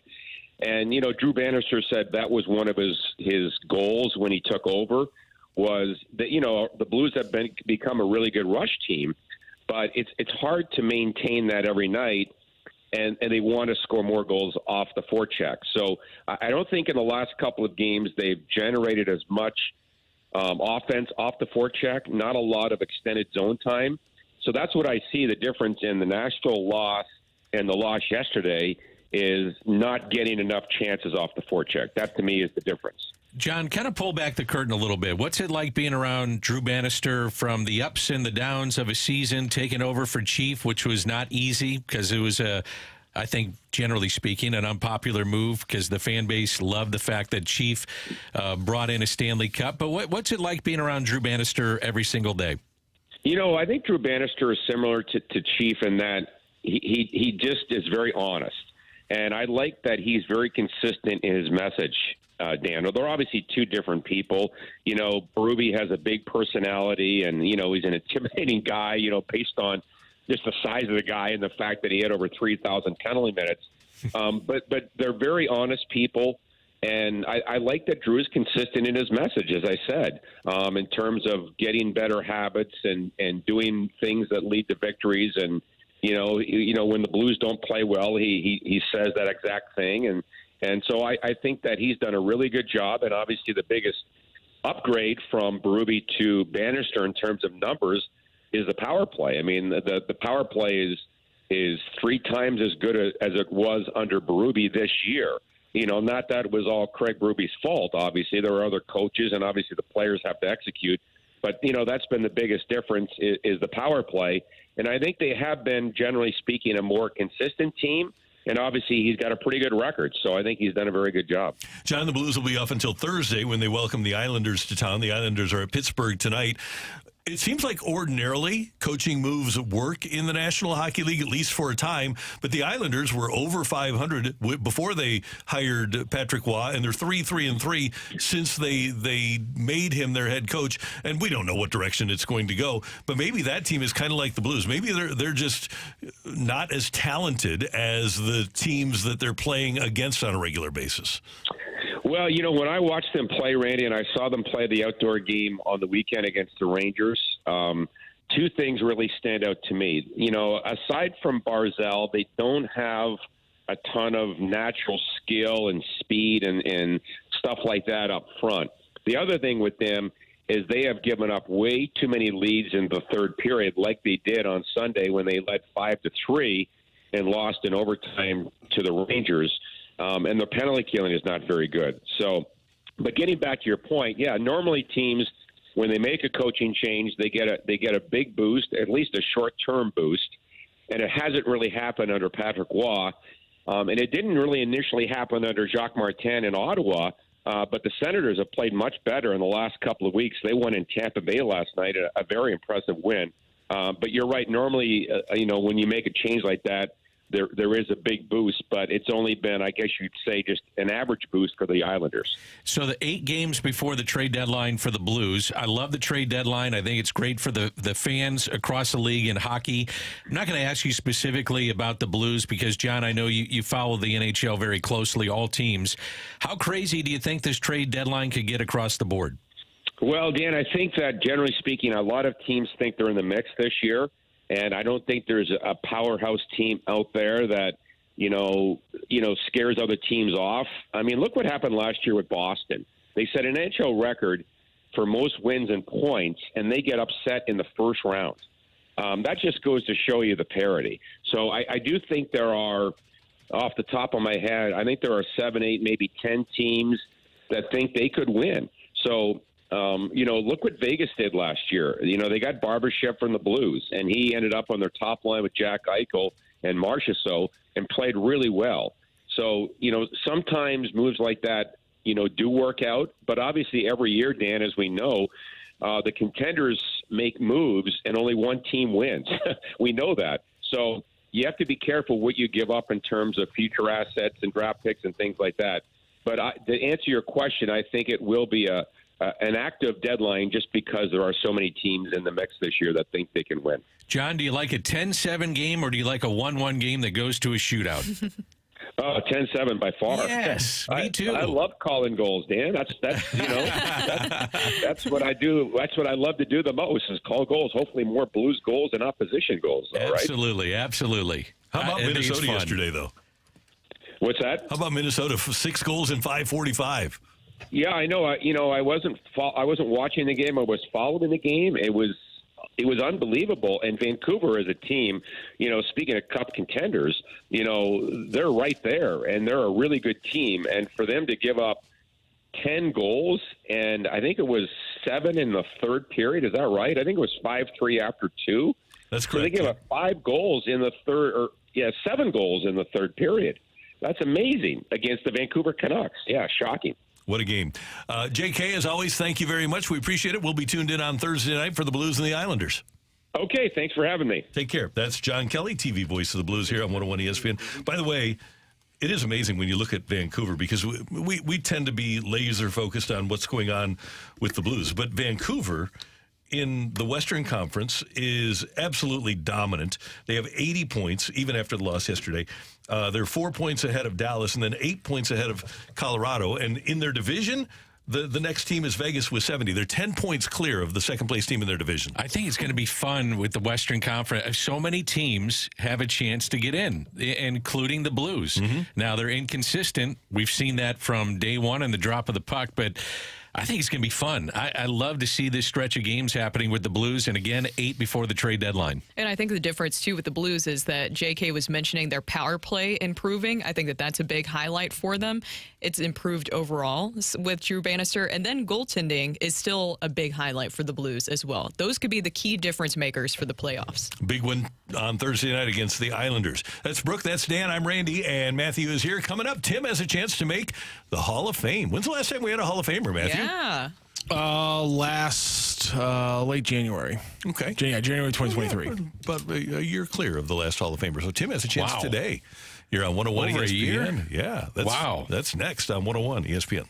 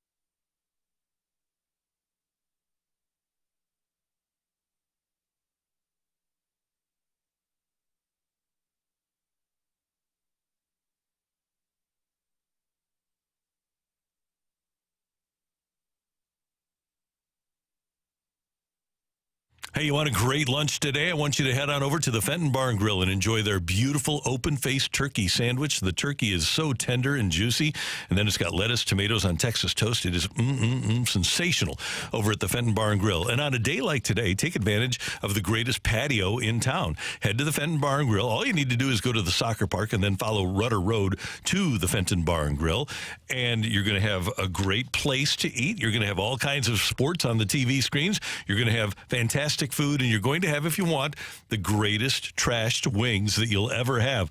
They're so tasty. They're so delicious. Order the trashed wings with some of that signature golden sauce at the Fenton Barn Grill. Mm-mm, you'll absolutely love it, and you'll love the people too. Say hi to Kelly, the, the feisty redhead. Say hi to Megan. Say hi to Colleen. The whole gang is so much fun, and you'll really enjoy the Fenton Barn Grill. Whether it's lunch today, maybe a happy hour this afternoon, dinner tonight, or any time, especially with the great weather coming up in St. Louis, head on over to the Fenton Barn and Grill, and when you do, tell them Randy sent you.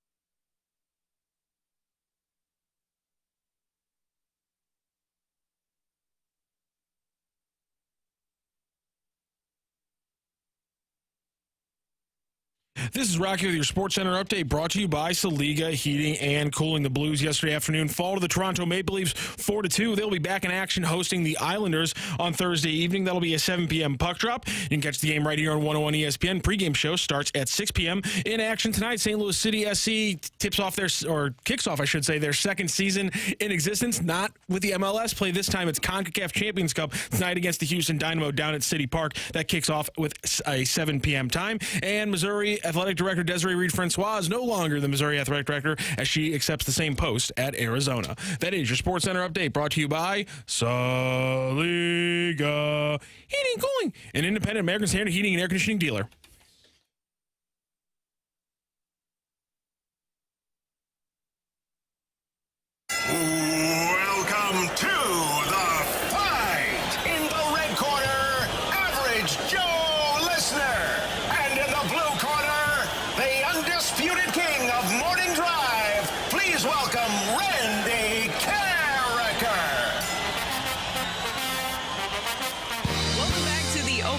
Brooke, Dan, and Randy here, and it is time for the fight. And we have a heavyweight showdown. This is for the Hall of Fame. Tim, Tim, welcome back. How are you doing? Doing good today, guys. How about yourself? Oh, I'm doing great. Look, I am like excited and nervous for you because it's been nearly a year since a fighter has made it all this way past Randy into the Hall of Fame. Do you think that you'll be able to get it done today? Uh, we'll, well, we'll see what the questions are right now. How many family and friends do you have listening for this chance at a historic day on the opening drive and a historic moment that could take place?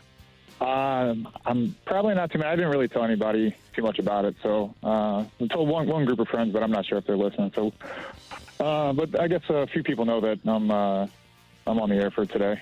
Well, Brooke, of course they're listening. We know that. So let's get into it. History could be made. All right. I feel like I'm more nervous than Tim is. Tim is not a guy that is shaken. He's like Jordan Binnington over here. Do I look nervous? there you go.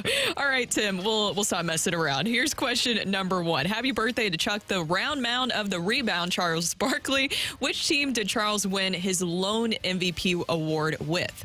Was it the Phoenix 76? I guess that's your final answer. That's the final answer. Ninety-three. Yeah. Okay. In 2006, uh, in the 2006 World Series, which Tiger was responsible for three of their eight errors across the series? Was it Brandon Inge, Joel Zumaya, Zumaya. Or Justin Verlander? Okay, we'll go with uh, Zumaya. All right. Question three, please. Which Major League Baseball stadium is the oldest opening in 1912? Is it Dodger Stadium, Fenway Park, or Wrigley Field? Uh, let's go with Wrigley. All right. And question four Who owns the Blues' single season record for shutouts by a goalie with nine? Yaroslav Halak, Glenn Hall, or Brian Elliott? I believe it's Brian Elliott. All right. Boy, we were supposed to stretch this segment until about 8.45. I'm not sure we'd be able to do that. But, all right, Tim, you're pretty confident. How do you feel? Um, I'm I'm not sure on one of them and iffy on another, so we'll see. Okay. All right. And here comes Randy. It is a Diet Dr. Pepper day for Randy. This is very serious. It is serious business. It is. Say hi to Tim again. Tim, again, good morning. How you doing? Good, Randy. How about yourself? Good. Good luck today. Hope uh, that you have a lot of success. Hall of Oh, Fame you too. showdown. Thank you. Do you really mean that? You hope he had a lot of success? No. At least you're honest. Yeah, it's, I, I don't know anybody that likes to lose. I can't sit here and complain about Josh Hader not being competitive and then saying I don't compare about care about competing. right? Okay. Well There you go. He did get 95 million. I don't know what you get if you win, though. I'm just saying. Not that. Okay. All right, you're ready to face Tim for a Hall of Fame showdown, Let's Randy? do it. Question number one. Happy birthday to Chuck, the round mound of the rebound, Charles Barkley. Which team did Charles win his lone MVP award with? Uh, I believe it was the 1993 Phoenix Suns. Is that your final answer, Randy? Yes, sir. Question two. In the 2006 World Series, which Tiger was responsible for three of their eight errors across the series? They uh, struggled. I'm going to go with uh, Curtis Granderson, though, in center field. The Grandy man. Which Major League Baseball stadium is the oldest, opening in 1912? Uh, I believe that Fenway opened before Wrigley, but I'm not positive about this. But I'm going to go that Fenway opened before. I'll go with Fenway Park. Fenway Park. Okay, who owns the Blues' single season record for shutouts by a goalie with nine? Moose Brian Elliott, I believe, does. All right. Is it a historic day? I guess we're about to find out. Well, that's the question here. Tim breezing through the first two rounds with tiebreaker wins, and even answered the couple questions in this one a little bit before we got through all three question or all three options. So maybe he's showing off that Hall of Fame resume a little early if you're Tim. Was it enough to get him the win? Ring that bell. The winner and still champion of the fight, Randy Karraker. The fight is driven by Car Shield. Plans to fit any budget. Visit carshield.com today. I'm sorry, Tim. You got so close, but Randy Karraker just edged you out. He beat you three to two today in the fight. Yeah, yeah. Well, good fight. Yeah, very good fight. Good especially, run, Tim. yeah, great run considering the way you forced the, the tiebreakers. Let's go through the answers here. Happy birthday to Chuck, the round mound, a rebound. Charles Barkley. It was the Suns. His first year with the Suns in '93. Both of you hit that right on the head. In the 2006 World Series, and listen. Late October 2006 was not a good time for Brandon Inge. Not only was he the last out of the World Series, but three errors Oh. across that series for Brandon Inge, which MLB Stadium is the oldest. It was, in fact, Fenway Park, which opened two years before Wrigley, 1912 and 1914, respectively. I also just liked the synergy of that question, having a Dodger Stadium, a Fenway Park, and a Wrigley Field. I just love that. and who owns the Blues single season record for shutouts by a goalie with nine? He owns the career record for the Blues, and he also owns the single season record. Is in fact Moose Brian Elliott with nine in the 2011-2012 season. So he just edged you out with the Fenway Park question there, Tim. Great job the last three days. I appreciate it, guys. Thanks for having me on. Thank you, Tim. We enjoyed it, and uh, congratulations on a really good run. My dog is named after Moose Elliott. That's what I figured. That would be a layup for you. I thought the uh, the the one that you went with uh, with Curtis Granderson, I thought that might be right. Remember, he Yeah. had the, he slipped, Slipped, in, yep. in center, and David Eckstein may have that may have propelled him to the MVP of that. I think so, That yeah. series, it would have been he or Scott Rolen. You know, it was interesting. Detroit swept the ALCS, and I think that had a part of them having all that downtime. And we're seeing that now. If you finish Mm-hmm. top in your division and you have downtime going into the playoffs, it just it just seems like you lose a little bit of the edge. Absolutely. That hurt the Dodgers last year against Arizona without question. And the Atlanta Braves. Yep, it did. I remember the Detroit was so dominant. Remember USA Today said that that they were going to sweep it and win it in three. Yes, I remember. Uh, Kurt, according to Baseball Reference, Granderson is not tagged with an error. He did, on the other hand, go two for 21 for a 0.95 batting average across the World Series. Inge, on the other hand, better at the plate than he was in the field. He did bat 353 across the series. He also had the uh, final strikeout to end the series Thank too. you, Adam. Yeah, Adam Wainwright closed out every series of that uh, postseason. Yep. Uh, coming up here on 101 ESPN, we've moved John Denton. He was going to join us at uh, what time? What? 9:30. Oh, uh, so what if Masyn Winn isn't ready to be the Cardinals shortstop? What do the Cardinals do then? That's next on 101 ESPN.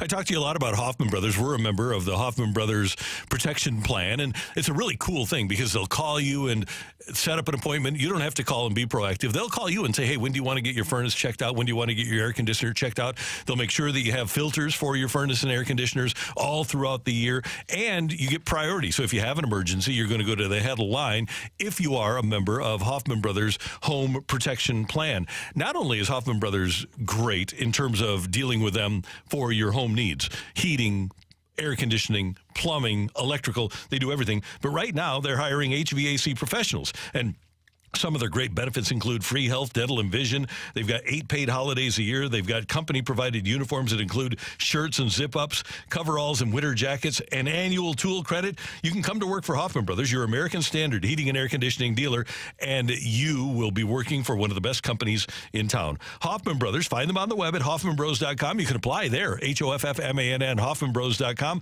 or give them a call, 314 664 3011, 314 664 3011, Hoffmann Brothers com.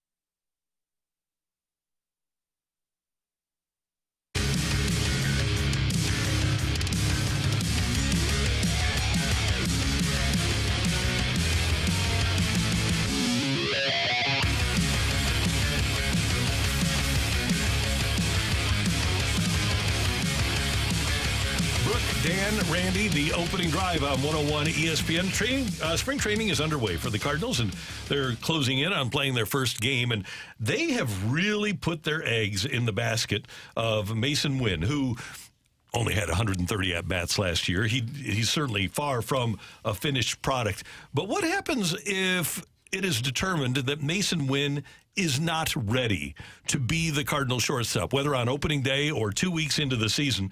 If they think, like they did with Jordan Walker last year, this guy needs a little bit more seasoning at the minor league level, then what happens? I think it's a moot point. It, I would give it till the first month of the season, and if he's batting like 100, mm-hmm. then I would say, okay, we got a serious issue on our hands. I think he could have two hits in spring training, is still going to break north with the club just because of what you said. There's not a lot of options. Plus, maybe he puts a lot of pressure on himself in spring training, but he will be the opening day shortstop in my mind. Now, what would happen if he got hurt? Now, that's a question. Does Tommy Edman then have to shift? To shortstop, how about Fermin?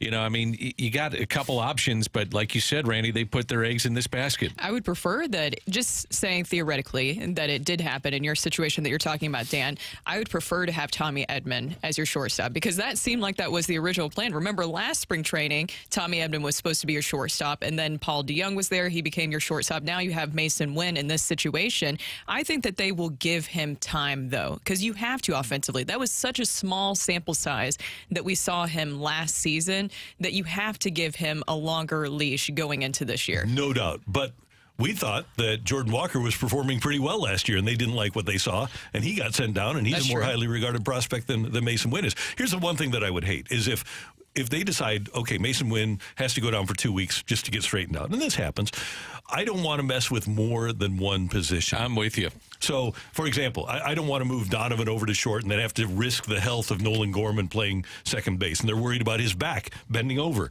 every uh, all the time at second base, and, and they don't, and the Cardinals look at him at Gorman as an average at best second baseman. So that to me would really compromise your defense up the middle. I think too, you if it came down to this, and this is a big what if, and you know, God forbid for the Cardinals, they they say we're not even approaching this situation. But let's just say it happened. You also could go out on the trade market and get a lesser offensive player mm-hmm. with major league experience that you know can handle the position defensively. I mean, you, there are guys out there that are out there that you could go get, and I would imagine that would be the direction they'd go because I don't think that they want to mess with the outfield. I think that they're saying Tommy Edman is our everyday center fielder. We don't want Brendan Donovan going much to the outfield because he hurt his arm last year. I think you one of the things that happened last year, you had so many players playing out of position. It was tough to get a fluid situation defensively, and I think it Mhm. really cost them as they went forward. And you don't want to see that happening again because that I just felt like led to a lot of the deterioration that we saw with fundamentals, with things defensively for the Cardinals, is because you did have so many different situations play out. And that's why we're talking about this, is because I feel like last season we saw so many scenarios play out that you weren't expecting. Does this also speak to possibly the infield depth that the Cardinals have or lack thereof? Good point. I mean, who's going to play shortstop when you need a day off for? Um, Tommy, I guess Fermin would be a guy that you'd look at.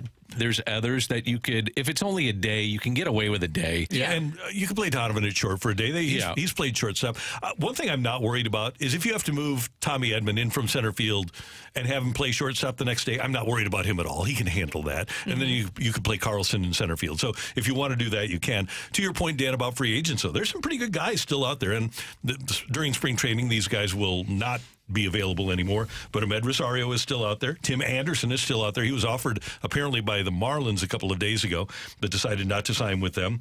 Uh, Nick Ahmed is still out there. You talk about a defensive guy. He's a former Gold Glover. Uh, Adalberto Mondesi, the former Royals shortstop, he can play defense. And Kike Hernandez is still out there. Yeah. So there are plenty. can find somebody. Yeah, if, if you determine early that you need more depth than Fermin or Buddy Kennedy can provide, there's veterans out there that you can bring in to play the middle infield. And I'm also expecting a really good season from Masyn Winn. I think that he's obviously young. He'll have some time, but you saw what he was able to do at the minor league level. There is a lot of talent there, and I'm excited to see what he'll be able to do. It's just giving him time to continue to grow because it was such a limited spot that he was in last season. I also, we mentioned this yesterday, Dan.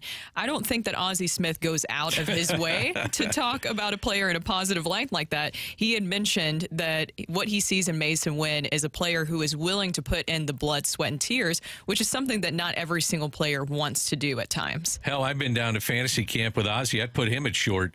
He's still Yeah. picking. Yeah, there you go. 69 years old and getting around Yeah. like you wouldn't believe. But um, going back to the point, I, I think, though, there are probably, if you look at teams on the major league level, too, if you wanted to go out and trade for a veteran shortstop, they are there. May not be ideal, but they are there to go get. And I, I, I just don't think that they want to move Tommy Edman. I, I don't think that that's something that they want to do and, and start shifting players around the diamond. No, I, I don't think they want to, and I think they're concerned about it. I, you know, Tommy, he's not concerned about it. Tommy, Tommy would have no problem. He's just a ball player, and so if, if you can play him in center field Same one day, with Donovan, just a ball yep, player. Yep, just play him at second the next day, short the next day. It, it doesn't matter to them. They just want to go out and play. You just, if you're the Cardinals, you're thinking, man, Masyn Winn, have a solid spring. And if you look at his track record, he's gone, fr and don't get hurt, but he's gone from double A to triple A. Took him a little bit to adjust. And I would assume triple A to the major leagues, that will be the same thing that happens with uh, Masyn Winn. He had 137 plate appearances last year and hit 172. If he would hit 172, I would think the runway for him to get it right would be a number of weeks as he continues to de- uh, develop at the plate. And I don't expect him to have uh, much deficiency or any deficiencies um, defensively. I think he's going to be just fine. We got a question from the 618, and this is just kind of bi- bigger picture, probably down the line. But what about Thomas Saggese being a possibility? The one thing that I've heard about Thomas Saggese is that he does not have a very strong arm, and they're really concerned even about like a second base arm turning the double play. Yes. So I'm not so sure that he would. Uh, I'm pretty sure that he wouldn't be an option at short, but uh, I think they have the Cardinals have a concern about his long-term viability because of his his throwing arm. The one thing about Winn too, you don't want a player to get buried. That, that's mm-hmm. something that mentally guys come up to the major leagues, and if they don't have initial success, you just don't want them to have the issues mentally where they're like, man, I, I'm trying, I'm trying, I'm trying, I can't get over the hump.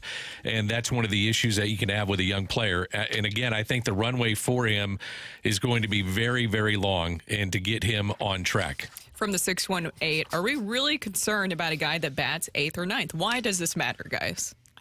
I I Because look at it. can, things can fall apart offensively. It does Right. matter. Well, yes. and we've talked about it. As much as we love Tommy Edman, Tommy Edman has not proven himself to be a very substantial offensive player. So all of a sudden, if you have two guys, at- if your eight and nine are out, in this day and age in baseball, you can't have that. You need hitters. What would happen if um, Masyn Winn gets hurt and you have to go to Tommy Edman? And coming out of spring, you're looking at Victor Scott and he's tearing it up and play him in center. I, I just something I'm throwing out there. Again, I think that's a last option that they want to deal with at this point. I think they want to continue with Victor Scott getting better and better and having success at AAA. But when you're in that position, I think any option is open. I talked to Victor Scott last month at the writers' dinner. I interviewed him for the writers' dinner. There's a lot of Vince Coleman there in terms of the confidence. Now, obviously, it's there for this base stealing, and of all of the all of the center fielders in all of minor league baseball, he's the one that won the Gold Glove. So defense is there, right? 1,800 players in minor league Flat baseball. out fly, yeah, too. There's there's nine Gold Glovers out of and out of 18 players, he won the Gold Glove. But he said, I asked him what his goal is for 2024. He said, Well, it's to make my major league debut. Just very matter of fact about it. And so, if you need to plug in a great defensive center fielder, a guy that can get it, that has great bat to ball skills.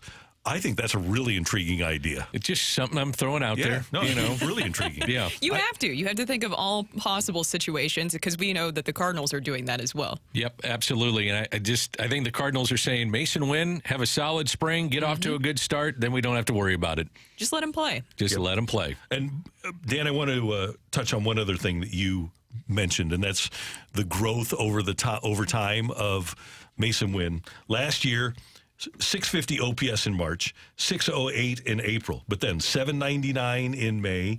762 in June. In July, 1.177 OPS, then a 941 in August before he got called up. So he does ascend as he adjusts to a level. Making some adjustments, I think we'd say. And eh, again, if he struggles, they're going to give him a long, long runway to get right. And uh, how far that would be would be dependent on how much he's getting buried at the major league level. Because you can't have young players come up and for a month and a half hit 100. You just No. can't have that. Okay, one other thing, and Brooke, I think, is on board with this. Uh, and you are somebody that I, I respect the opinion of. He's from Kingwood, Texas. I've given him the moniker the Kingwood Cannon because he has such a great arm and because he can hit. He can hit the ball hard. Masyn Winn, Kingwood Cannon. Thumbs No. up, thumbs up. I'm down. Oh, I'm down on it. No. We had the Commerce Comet. We had Mickey Mantle was a Commerce Comet. We- we just The let him get Kingwood settled in the major leagues first Well, before you give him a nickname. But need nicknames. sometimes the nickname can really just add to the story Make and the player. propel him even more so. He doesn't forward. need any more pressure from Randy and Brooke to live up to this incredible nickname that you've given him. The King You, but you think it's an incredible nickname?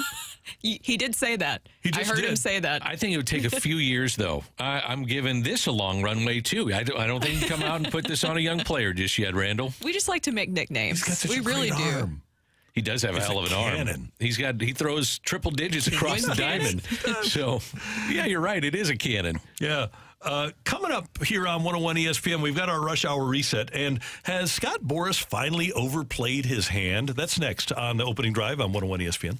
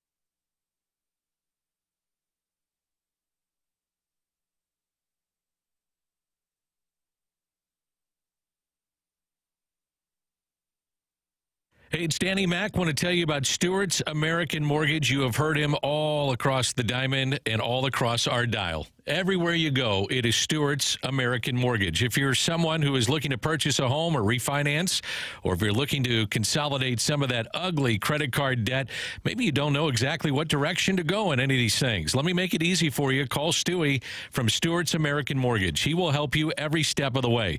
If it's a new home that you're looking to purchase, he will get you to the closing table fast. Try 10 days. He'll get you the best interest rate possible. He also has the bagel loan. You hear that all the time that can help you out too. What's the bagel loan? If you borrow 200,000 or more, there's no underwriting fees, no appraisal fees, no title fees, no lender fees, no closing cost. Stewart is your guy. He makes it easy. Any questions on rates, the industry, the trends, give Stewart a call. Call him directly on his personal cell phone. You can text him, call him. He'll answer you back 314 324 4440. 314 324 4440. Or you can Google the bagel loan. NMLS number 226715.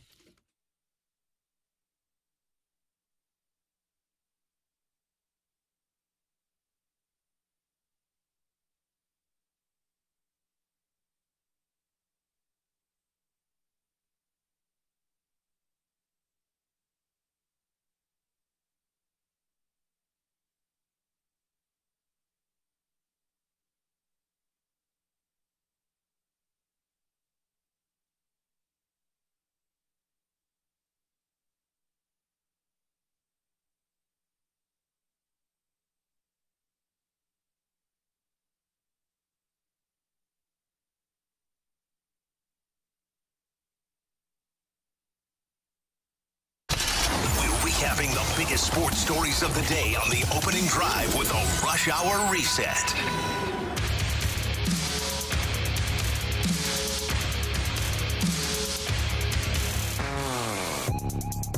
It is time for the rush hour reset at 9.02. Time check brought to you by Clarkson Jewelers, an officially licensed Rolex jeweler. Blues falling to Toronto yesterday, 4-2 at Enterprise Center, President's Day matinee. And the Blues will play the New York Islanders Thursday night over at Enterprise Center. Mizzou Athletic Director Desiree Reed-Francois bolting for Arizona. So Mizzou in the market now for a new athletic director. And St. Louis City opens their season tonight. They play Houston in the CONCACAF Champions Cup Round 1. It's a 7 o'clock game over at City Park, and we're going to talk to the president uh, and GM of City SC, Diego Gigliani, coming up in our next segment here on 101 ESPN. But as baseball spring trainings open and all of the Cardinal players are in, there's still four notable players that aren't in camps now. Left-handers Jordan Montgomery and Blake Snell, who is the two-time Cy Young Award winner in the National and American League. He won the National League Award last year. And Matt Chapman, third baseman, who played for the Blue Jays last year, and Cody Bellinger had a nice bounce back year for the Cubs. The common denominator among those four players that aren't in camp is that they're represented by Scott Boras. And around baseball, and Ken, Ken uh, Rosenthal at The Athletic has an interesting piece up today. Around baseball, it appears as if teams are saying that uh, their general managers are saying that their teams are set. Rangers GM Chris Young, I don't think there are any additions coming at this point. Blue Jays GM Ross Atkins, at this point, additions that would be of significance would mean some level of subtraction. Giants President of Baseball Operations Farhan Zaidi, it's a little bit more disruptive to add at this point. And you know, anybody who's a free agent, we've theoretically had three and a half months to figure out a deal. And if it hasn't happened yet, at some point, at some point, organizationally, you just need to turn the page and focus on the players that you have.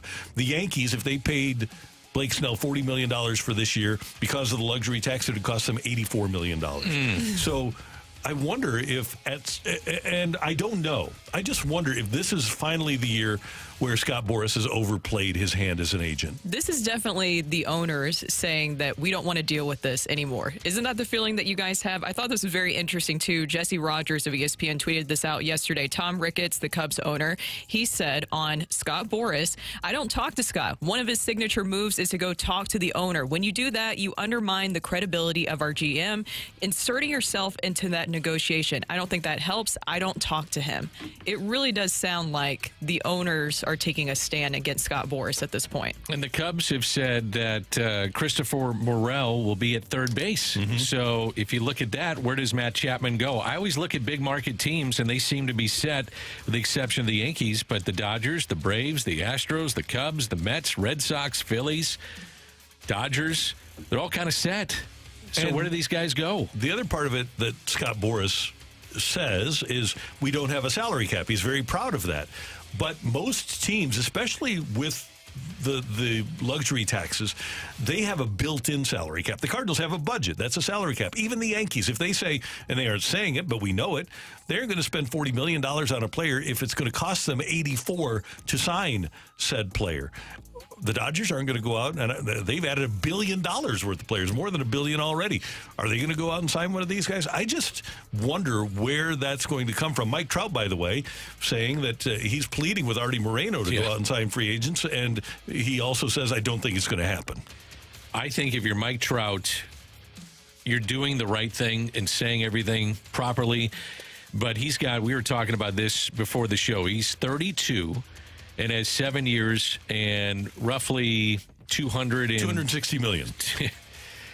I think he's saying the right things, but I mean, do you, if you're Mike Trout, do you trust in your owner to go uh, make the, any kind of moves of significance? Now he signed Albert a few years ago. Obviously, he had Shohei Ohtani, but man, that's a tough spot to be. I mean, because they need a ton of talent around him to make them any better. Why would you pitch to Mike Trout? And why, if you are a team, and I don't know where they stand from a salary, from a, a luxury tax standpoint, but there's one team that should sign both Montgomery and Snell. And here's a, question that I have for you two. If one or the other signs, if Montgomery gets a five year deal for $130 million with Team A, doesn't Blake Snell say to Scott Boras, well, why didn't you sign me there? I think I was going to go the other way. I agree with you. I was going to say that Snell sets the bar, mm-hmm. and then Montgomery gets whatever teams think would be under that. The thing about Blake Snell, and he's won two Cy Young awards, and that's exceptional. But he walks five per nine, And he doesn't give you innings, right? Yeah, he's he's averaging about five innings uh, a game. Right. you know, there's there's reason behind this. Yeah, my, my point is there's only it's a game of musical chairs. Exactly. So I, I'm wondering when the music stops, one of those guys is going to be standing and they're they're going to point at Scott Boras. You'd think and say, okay, you got him his deal. Why why don't you have me my deal? And I've never have met Blake Snell personally, so I can't exactly speak to how he's probably feeling in the situation. But you guys have been able to be around Jordan Montgomery. I can't imagine that he is thrilled with the situation right now of waiting to be with the team, getting started in camp, especially for pitchers. That routine is so important to them getting off to a good season and a healthy season. I bet Scott Boras is telling these guys wait for an injury and wait for desperation by clubs. And he's telling them here's the particular clubs that we think could be desperate to sign you. And these guys buy in. And I don't necessarily blame them. Scott Boras is the best agent, whether you like him or not in the sport. He's getting them massive amounts of money. And so the guys buy in and say, okay, I'll hold out and I'll try to get the best deal I can. But is this for the betterment? And I do agree with you, but is this good for the game? No. And I, I think that they need to have a deadline on free agency because yes. this has taken too long and there are a ton of players that aren't represented by Scott Boras that are still looking for jobs. I think it'd be good for baseball too. Fans would be interested, which is what you always want. You want to make sure that you uh, get the fan interest because when free agent starts, it's like, oh, my team can add this player and that player, and then nothing happens for a month. I, I don't think it's a bad thing to say free agency is going to have a deadline in baseball. I think it, it'd be a good thing. One other note about Jordan Montgomery. He he apparently was on record as saying he wanted to go back to one of the teams that he had played for before, right? Cardinals, Rangers, uh, Yankees. If you're Jordan Montgomery, and I he's 30, so maybe he's going to get the five year contract, but he's looking at Marcus Stroman getting 37 over two from the Yankees. Wouldn't you ask your agent, okay? I wanted to go back to the Yankees. Why don't we have a deal like that or similar to that? I- My guess would be he'd say it's only two years. And Yeah. we can get you at your age. This is the big bite of the apple. Let's get you five. Let's get you six. That would that would only be my response to that, Randy. And I, I'm with you. Maybe the two years and the 37 million kind of sets the bar a little bit with him. But in my opinion, I, I think they're waiting for Snell to go, and then that sets the the bar for left-handed pitching that's left. The longest contract for a player this year that a pitcher that moved to a different team because Nola signed for seven years to stay in Philly. But it was the four years that uh, Rodriguez got to go to Arizona, four years and $80 million. Otherwise, there wasn't a deal longer than three years for a starting pitcher. This has just been such a drab. I, I'm trying to think of the right word to describe this off season. I was expecting just so much excitement, things to be moving quickly, and for it to still be kind of drug out in this way is just I, I didn't I haven't enjoyed it. I was expecting a more exciting off season. I, think that every year. Well, and this is what happens. But this is also the issue with Boras having four of the top 10 guys. Exactly. Yeah. And those That's four, here we are. Spring training is underway, and it's hard to join a team in spring training. We've seen a lot. Even Lohse got off to a, a rough start when he joined the Cardinals midway through spring training, a Boras client. Dallas Keuchel. Dallas Keuchel, uh, when Greg Holland signed at the end of spring training. It's not an easy thing to do for a pitcher, especially. Yeah, just to jump in and Yeah. say, let's go. Yeah, Because- I'm with you. And the team is saying, well, we gave you this amount of money. We expect you to be able to go. Sure. And Boras is telling them, hey, my guy's working out at my camp.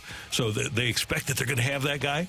And then all of a sudden, that guy isn't the guy that they thought they were paying for. You can throw on the side all you want.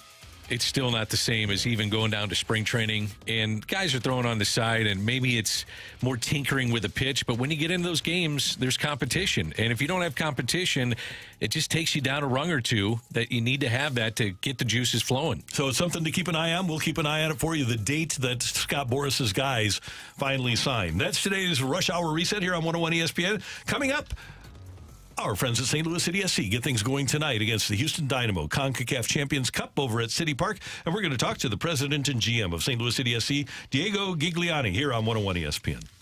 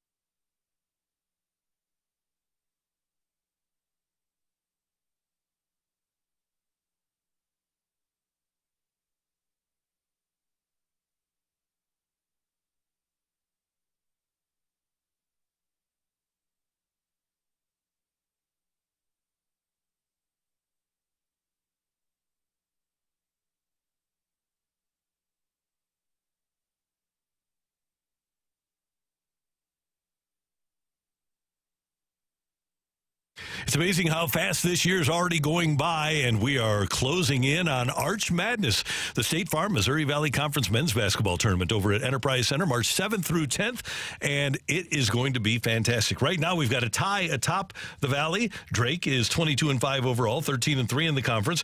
Indiana State 22 and 5, 13 and 3 in the conference. Two of the top 30 teams in the country, and then you have Bradley and Northern Iowa and SIU that all cause uh, a big ruckus and are capable of winning that tournament. All you need to do if you want to get in on one of the best events on the St. Louis sports calendar is go to archmadness.com. Archmadness.com, and they have a great family pack that you can get Four tickets, four popcorns, four large drinks, all for 100 bucks, and you can take your family to enjoy the 30th edition of Arch Madness, the Missouri Valley Conference men's basketball tournament over at Enterprise Center. Again, it's March 7th through 10th. All session tickets are available right now. Single session tickets available as well at archmadness.com. Don't miss one of the great events on the St. Louis sports calendar. It's Arch Madness, March 7th through 10th.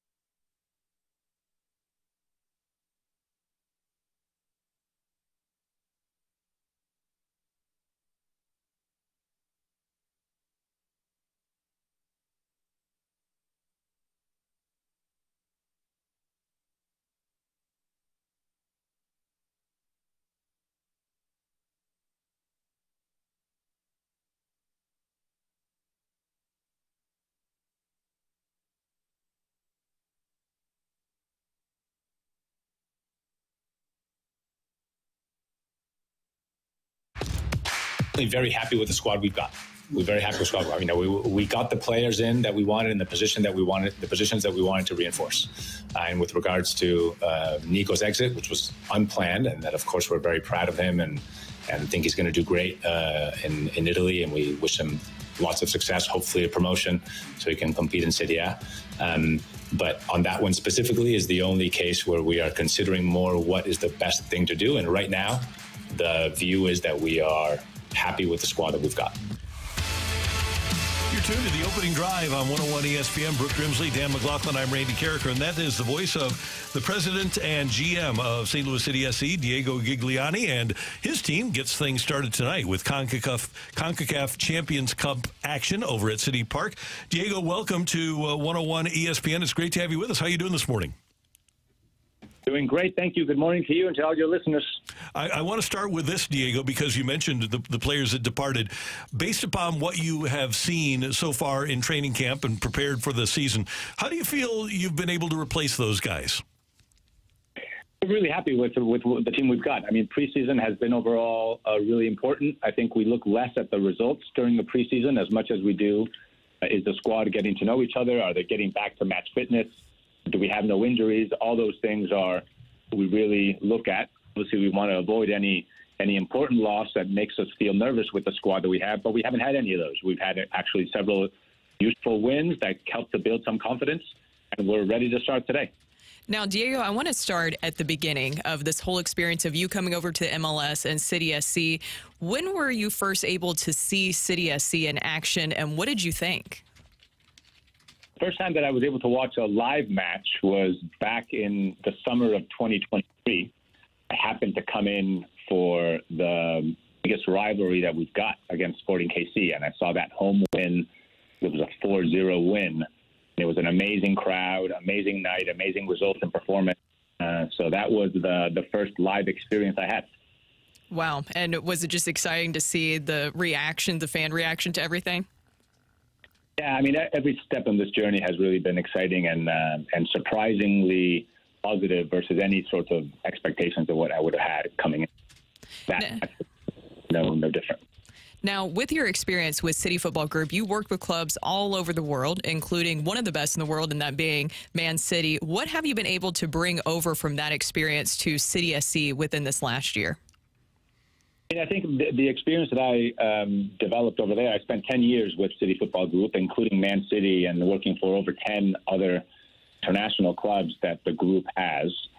Uh, and that's just the opportunity to be exposed to different realities, different problems, needing to solve them at scale at multiple clubs in different contexts.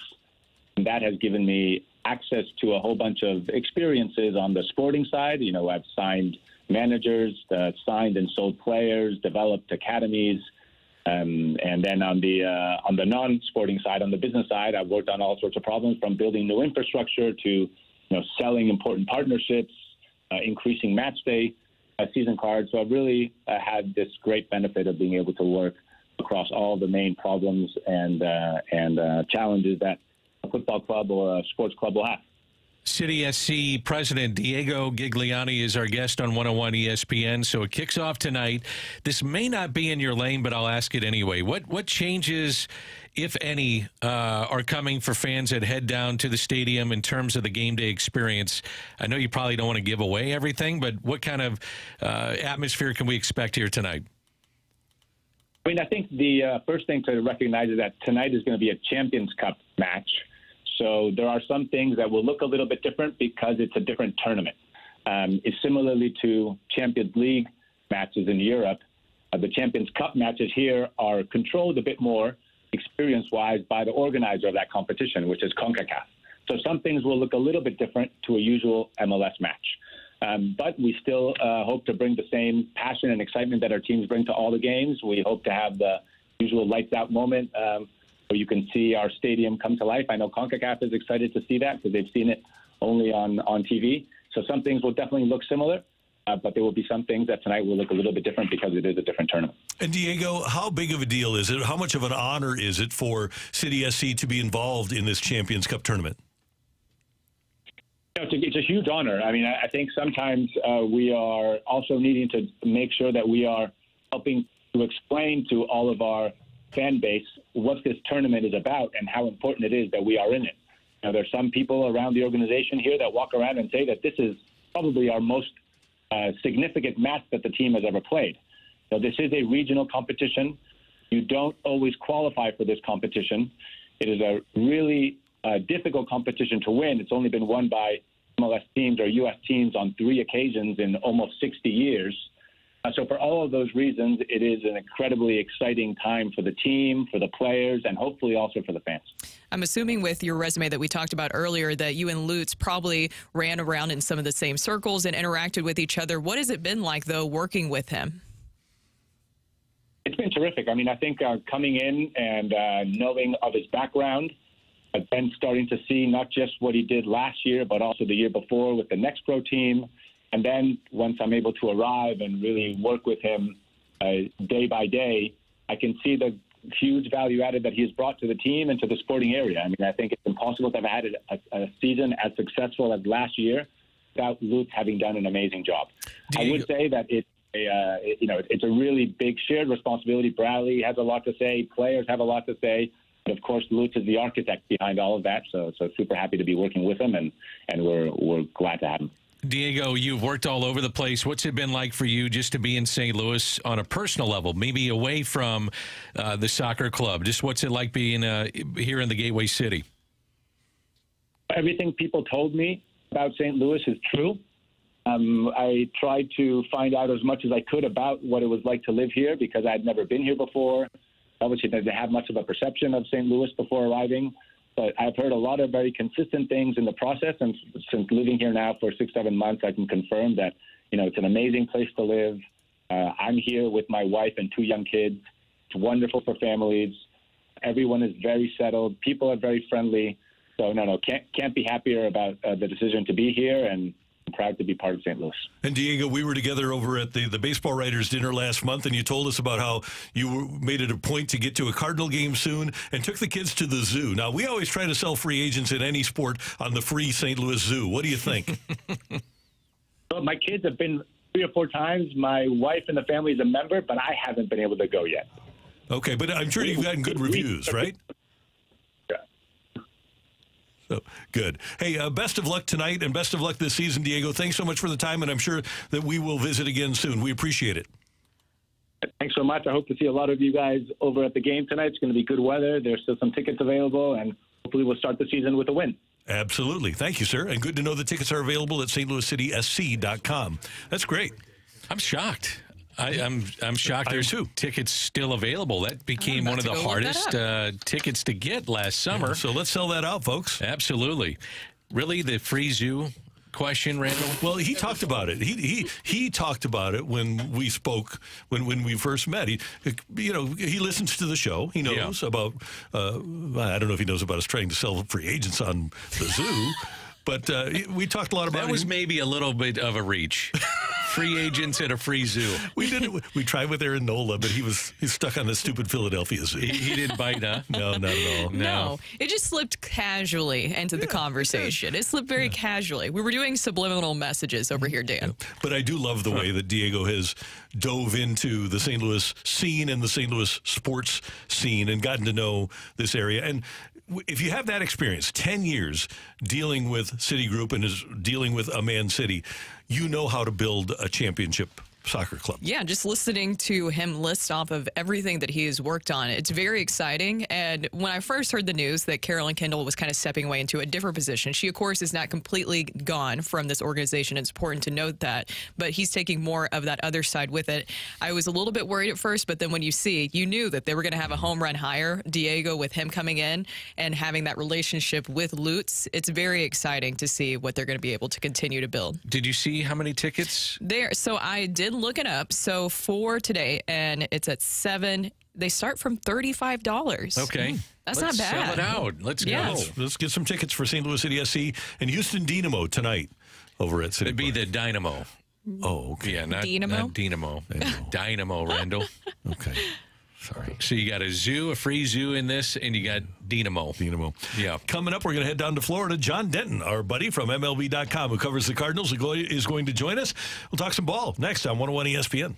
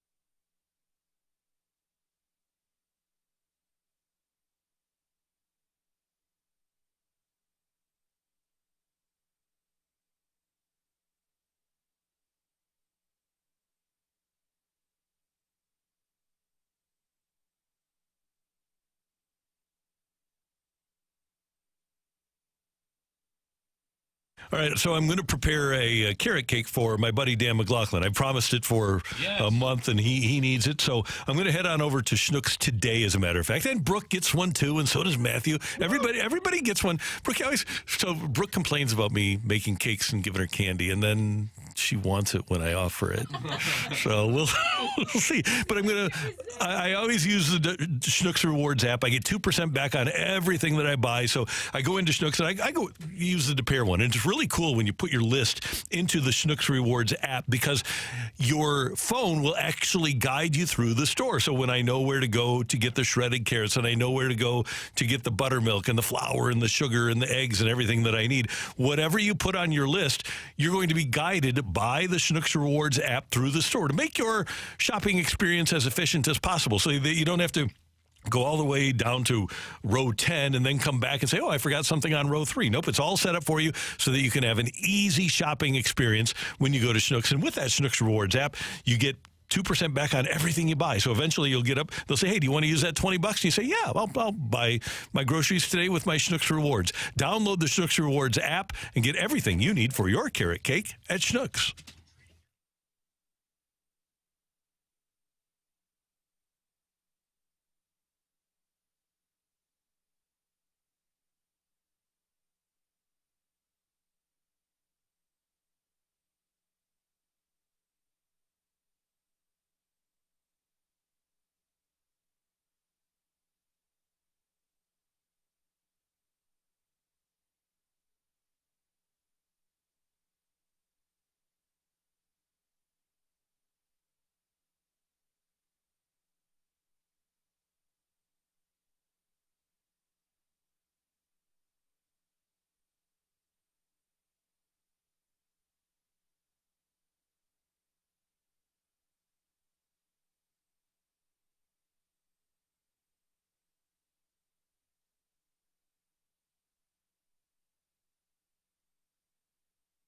This is Rocky with your Sports Center update driven by Johnny Londoff Chevrolet and Johnny Londoff Autoplex. The Blues yesterday falling to the Toronto Maple Leafs 4 2 in an afternoon game. They will try to bounce back on Thursday as they face off against the Islanders down at Enterprise 7. Enterprise Center. It's a 7 p.m. puck drop. You can catch the pregame show right here on 101 ESPN starting at 6 p.m. And tonight, St. Louis City SC is back, but this time it is CONCACAF Champions Cup action as they face off against the Houston Dynamo for uh, the 7 p.m. kickoff tonight down at City Park. That is your Sports Center update driven by Johnny Londoff. Find your roads and shop 24 7 at londoff.com and londoffautoplex.com. Are you kidding me?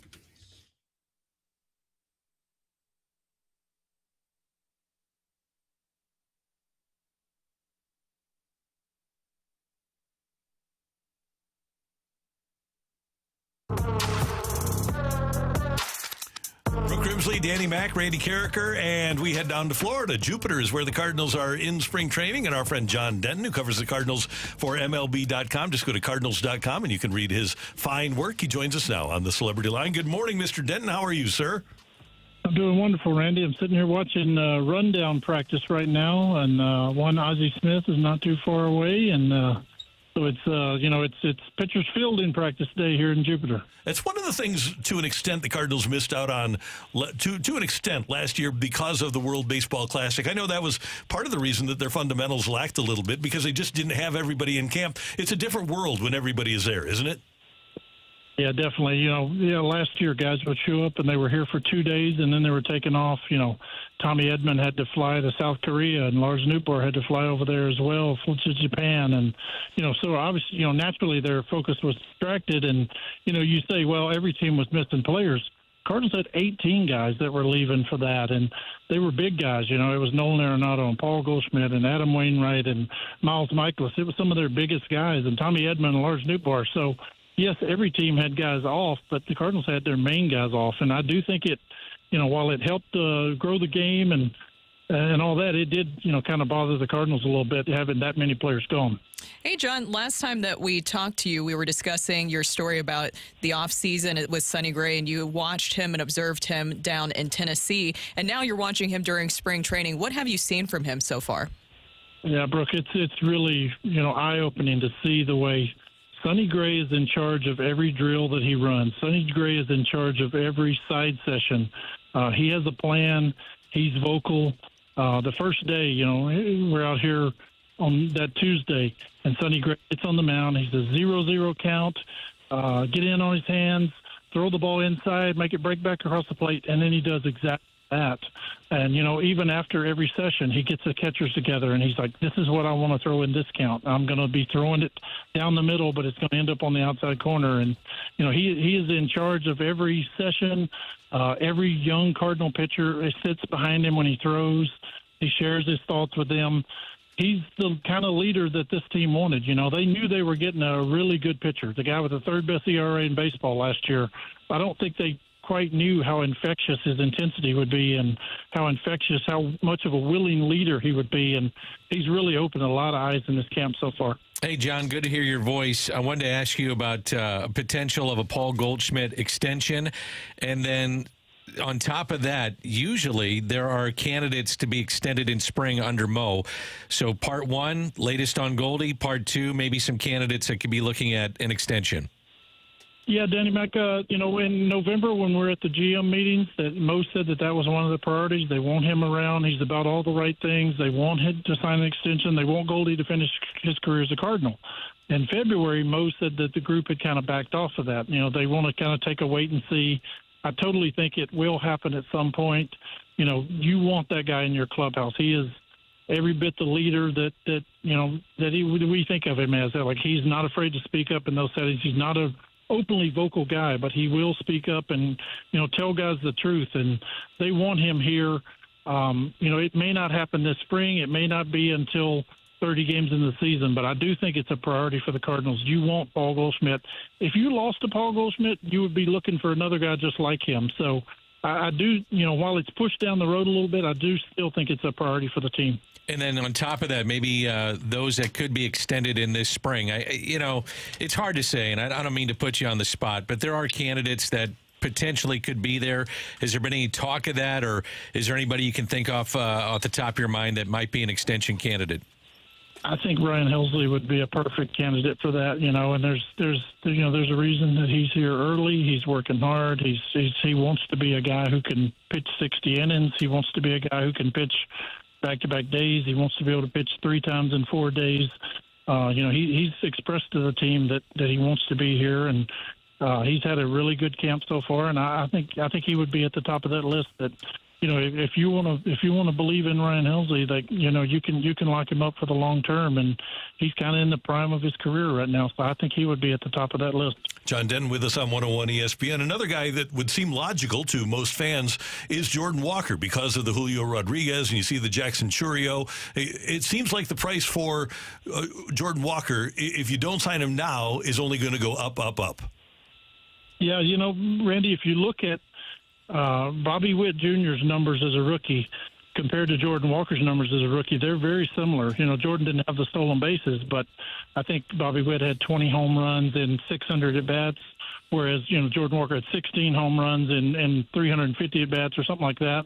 So the numbers are very similar. Now, where Bobby Witt hit was year two when he hit 30 home runs and stole 65 bases and stuff like that. If if Jordan could make that leap this this season and have a really good second season, I totally see, could see the Cardinals, you know, trying to lock him up after year two because, you know, you know this kid is on a collision course for greatness. Uh, you know, I always joke he was built in a in a lab somewhere, six six, two hundred fifty pounds. Uh, great intelligence, great maturity. You know he's going to be a star. So if he has a big second year, who knows? He maybe he could get that through uh, two hundred eighty-seven million dollar contract, just like Bobby Witt really is a star. Well, I want to go back to the starting rotation, John, because of their daunting schedule to start the season, the Cardinals seem to be just toying with the idea of using six starters to start the season, saying that they. So, with the fact that they might be using six starters, who do you think that that potential six starter could be as of right now? Well, I think it's going to come down to Matthew Liberatore or Zach Thompson. You know, there's uh, Oli Marmol said this morning, confirmed it, what we all thought. Uh, the the split squad doubleheader on Saturday. Zach Thompson's going to pitch one game. Matthew Liberatore is going to pitch the other. They're both going to start. We don't know who's going to stay here and who's going to take the bus ride to Port St. Lucie yet, but you know those would be the two candidates to uh, to move into that sixth spot. And you know they are worried because you know they start off the season with eight straight games. You play four at Dodger Stadium. You play three against Mike Shildt in San Diego come home and play the Marlins. So you're playing eight games right off the bat. And I think it's like 13 games in 14 days to start off the season. So, you know, maybe going to that sixth starter and, you know, saving guys early in the season would be a good idea. And I really think it's Matthew Liberatore's job to lose. You know, he's the guy that has done this before. He's the guy who's shown that high end potential. And it's going to come down between Zach and, and Matthew Liberatore. And one of those two guys will, will win that battle, no doubt. You know, we had a fun conversation about what if, and that's what a lot of this is. What if this happens? Guy gets injured, guy is uh, unsuccessful in spring training, and we're talking about Masyn Winn. What would be a, a backup plan, John, in terms of God forbid he gets injured. You never want to see that, or he is not productive for, let's say, six weeks of the regular season. What would be a backup plan at shortstop that the Cardinals, with what they have right now, could look towards? Yeah, you know, Danny Mac, it's funny you asked that because like 11 minutes ago, I think I just asked Oli Marmol who's your back shortstop. I, you know, because they mentioned, you know, just because Tommy Edman can do it, do you want him to be your backup shortstop or do you want him focusing on center field? And and Oli was was pretty adamant that they want they they view Tommy Edman as their backup shortstop. And you know, if this thing goes off the rails and Masyn doesn't play well, I think the the plan would be to shift Tommy to center uh, shift Tommy to shortstop, and then either use Dylan Carlson or even Victor Scott the second in center field. Uh, you know, I think that's the break glass if necessary plan. They all believe that that Masyn's ready for this. That you know, if you look every level he's been at, he's kind of struggled those first six weeks, and then he caught up to the competition and took off. So they think the kid's gonna gonna win the job. But if they don't, you move Tommy Edman back to short, and then you, you know, you give Dylan Carlson or, or Victor the, the shot in center field. John Denton, last thing for me, and you mentioned how uh, Sonny Gray is kind of taking charge and, and saying what he's going to do. Last year, when the whole kerfuffle with Willson Contreras popped up, the Cardinals talked about him not really being uh, familiar enough with their processes. Well, now he's got three new starters and other new relief pitchers to learn. Have you been able to observe or find out how they've changed the processes to allow Willson Contreras to learn the new pitchers? Yeah, you know, a lot of times, Randy, when when uh, when Sonny Gray's on the mound, it's Willson Contreras catching his bullpen. When it's Miles Mikolas, uh, you know, it's Sonny Gray. I mean, it's uh, it's Willson Contreras catching his bullpen. I can tell you this: even before the players reported, Willson lives in Orlando in the off season. He would drive the two hours and come down and catch Miles Mikolas' bullpen. He would drive down and catch Stephen Matz's bullpen. Uh, so he was making the effort to to you know to build a relationship with these guys. And you know you see them they're they're almost inseparable in spring training. But if one of those big horses is on the mound usually Willson's going to be the guy catching them uh, in the bullpen. And there's always a skull session afterwards where the pitchers and catchers talk. And man Willson's Willson's been a delight. You can see how much more relaxed he is this year he feels like he's home he feels like this is his spot now so you know I give Willson credit for you know he got here early he made the effort to come down from Orlando to work out with these guys. He's he's due for a big year because he he took a lot of unnecessary criticism last year, and I, re- I really think he's he's going to you know be the catcher the Cardinals need this year. As you watch uh, the competitions that are taking place in camp, it looks like the lineup is pretty much set. You know the rotation is. Is there a bench spot number one, John, that's up for grabs, and then I guess bullpen competition would be first and foremost. Yeah, in the bullpen, there's five spots that are pretty much you could write down right now. You know, you're going to have you're going to have Helsley, you're going to have uh, Gallegos, you're going to have Kittredge, you're going to have Middleton. Um, who's the fifth one? I'm thinking there there was one more, uh, either Pallante or King in there, but there's there's kind of three spots up for grabs in that bullpen, and you know it's do you go with the guy who has the funky delivery? Do you go with the guy who could throw multiple innings? Uh, you know, Oli Marmol said this morning they're going to take the the best three of that group but you know, sometimes the best three is a guy, a righty who gets out lefties like Pallante. Sometimes it's a guy, you know, uh, like Liberatore who can who can be your long reliever if you need. So, you know, those those final three spots in the bullpen are, are one area, and then you know, do you have Matt Carpenter and Alec Burleson on the on the roster? You know, I mean, they basically both play first base. They, they're DHs. They're lefty bats.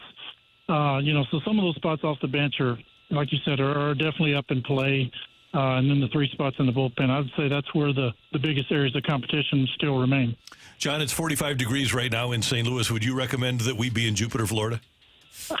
yes, but this is like Florida winter today. I was just talking to somebody. This is like one of the three days in Florida when you actually use the heat. So I think it's two here today, and people are acting like it's 32. So it's cold comparatively. You guys have it much worse than we do right now. It's it's and beautiful here. I love it. Uh, John, it's always good to hear your voice. Thanks so much for the time. We do appreciate it. We'll talk soon, and we'll see you soon. Thank you, sir. Okay, guys. Take care. Thanks. See you later. John Denton, you can read his great work at Cardinals.com. He covers the Cardinals and uh, provides a lot of great, great information, as he just did there. Coming up, we've got rock and roll for you as we head down the stretch on this edition of the opening drive on 101 ESPN.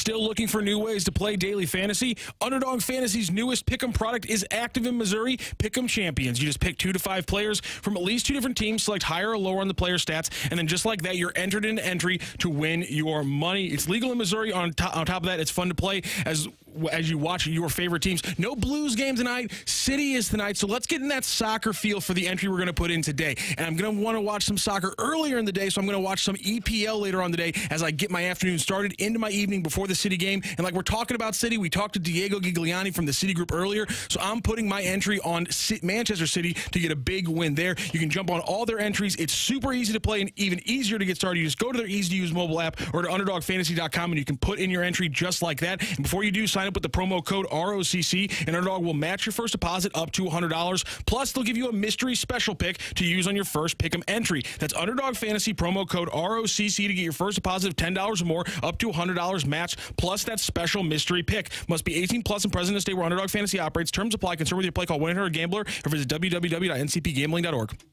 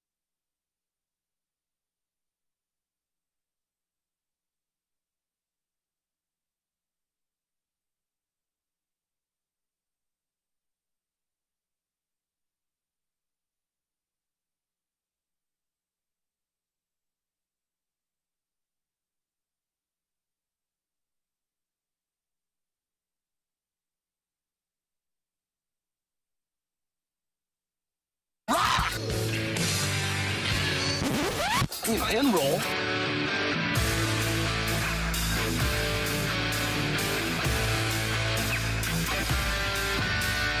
Let's rock. Let's rock today.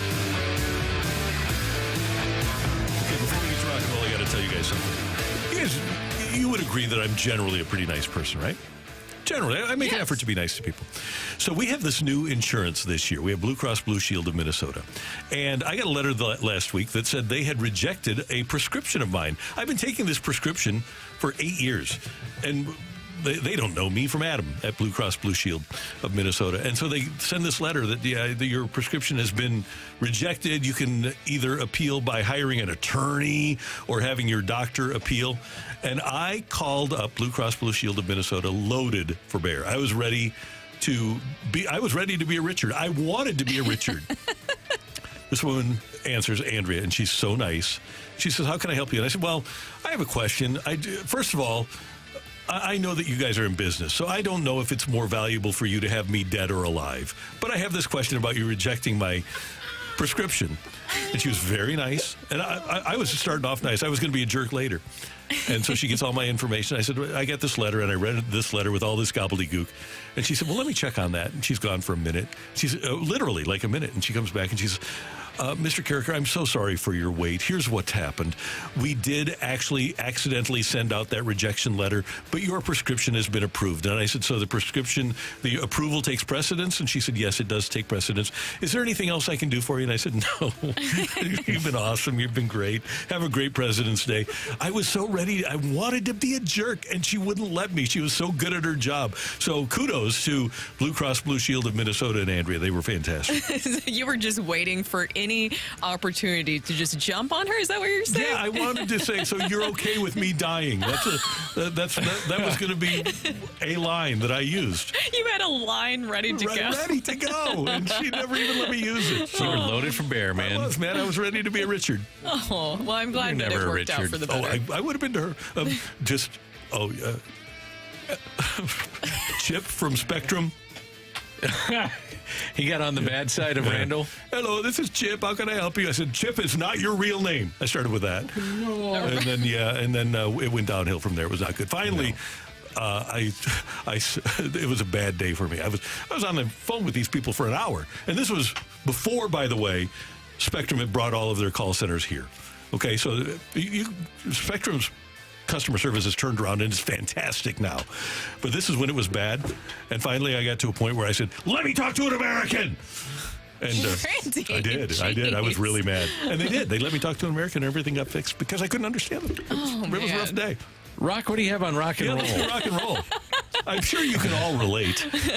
Text line is open 314-399-9646, 314-399. Yo! Tell me, tell me if you can't relate to that. Brooke, take it away. All right. Well, anyways, on foul territory yesterday, Miles Mikolas decided to weigh in on the standoff between Scott Boras and Major League Baseball teams. Here's what he had to say. Why are these guys still out there? Why are they not signed? And why have the Cardinals not signed any? Let's that. Who are all those guys represented by? Hmm. Some of those guys are notorious Boras guys, and he'll. I know he tells guys things that you know you got to hold out for this, and he's. You know, some of his clients have a history of holding out till mid spring training. Um, so you never know. Guys are asking too much. I don't know what people are asking for.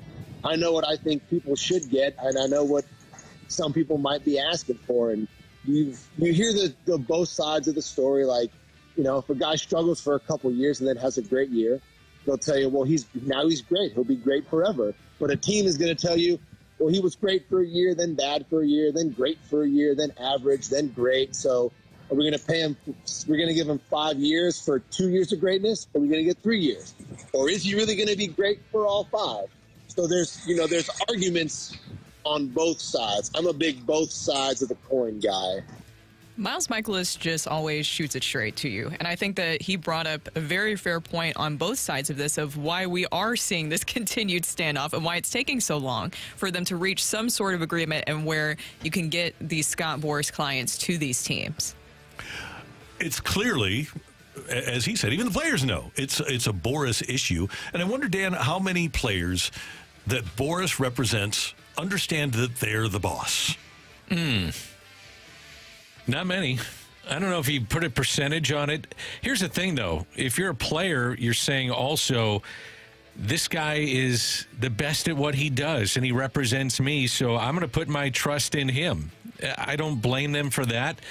I also think that you're right. There are certain agents in which uh, the players are working for the agent. I don't know if it's with every single one. Like I'd even say with Boras, there's sometimes where a player probably says, "No, get me here. I'm mm-hmm. good." Mm-hmm. I just don't think it happens very often at all. I was talking to a former general manager last year when the whole Freddie Freeman thing broke about how Freeman wasn't given the information about an Atlanta offer that was subsequently debunked. But this former GM told me that he had a player that was represented by Boras, and he called him, and there was a deadline. They, the, the the team wanted to either have him or not have him, and the deadline was in a couple of days. And he called the player and he said, "Hey, what are you going to do?" And he said, "I don't know. Scott's going to tell me tomorrow." Right.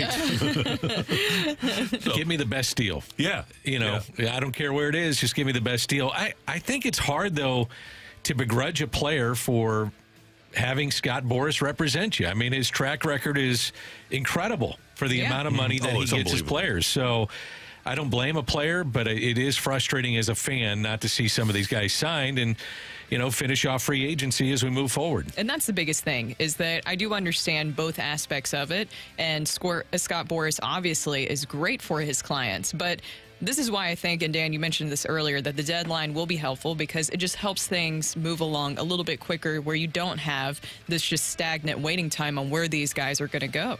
I think with a deadline, too, you put pressure on people. Exactly. You say. And you're still going to make money. Absolutely. And this is why you have a trade deadline is to finish it off, put pressure on people. That's why you have the deadline. And I, I just something I thought about is that maybe you put a free agency deadline out there and it I think it helps the game too. You want mm-hmm. interest in your offseason, that's one way to do it. It's uh, it's a smart thing to do because you look at the NBA, you look at the NHL, you look at the NFL. Everybody has a huge day on the start of free agency, right? And everything happens. So why not have that?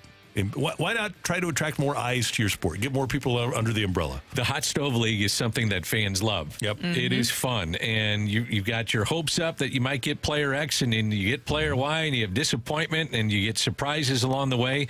I, th- I just think it's a, a, way to keep you front and center with your fan base. A great line from Dan Le Batard that baseball has not embraced yet fans like the transaction more than the action. I, I would happen to yeah, agree. They because do. it's the drama, it's the stories mm-hmm. that come around it. And it was Rob Manfred that mentioned this trade deadline, or not trade deadline, excuse me, free agency deadline. And Scott Boras did come out and say that he was not for this. No, totally so, opposed. Yes. Yeah. Yeah. So, well, it's. Uh, I hope his players don't wind up in an unfortunate situation. I don't think they will, but you know it, the teams are in an unfortunate situation right now because anytime you have a player that joins in the middle of spring training, it's going to be an iffy proposition. Probably, and uh, I, I, think they 100% put their trust in Scott and say wherever I wind up, I got the best deal, so I'm good with it. Right. A uh, great job today by our producer, audio, video engineer, the one, the only Matthew Rocchio. Thank you, sir. Pleasure. Uh, Brooke, did you have fun today? Yes. Do you still have your Reese's? Um, uh, it mysteriously disappeared. We want to see your face. Who's? You want to see my face? Okay, good. I'm glad. I guess somebody just ran in and took it. That's my guess. Yep. Danny Mac, happy ta- Taco Tuesday. Thank you, sir. Looking forward to it. I'm going to have tacos today somehow. Choco tacos. Oh, Choco tacos are back this summer, baby. Can't wait. You're fired up. I already am. It's going to be a long time, but I'm fired up. Hey, we thank you for tuning in, texting in, and being a part of the show. We have a balloon party with T Mac and Ajax coming up. BK and Ferrario back today from 11 to 2, and then the fast lane from 2 to 6. For all of us until tomorrow morning at 7, have a great Taco Tuesday, everyone. That's right.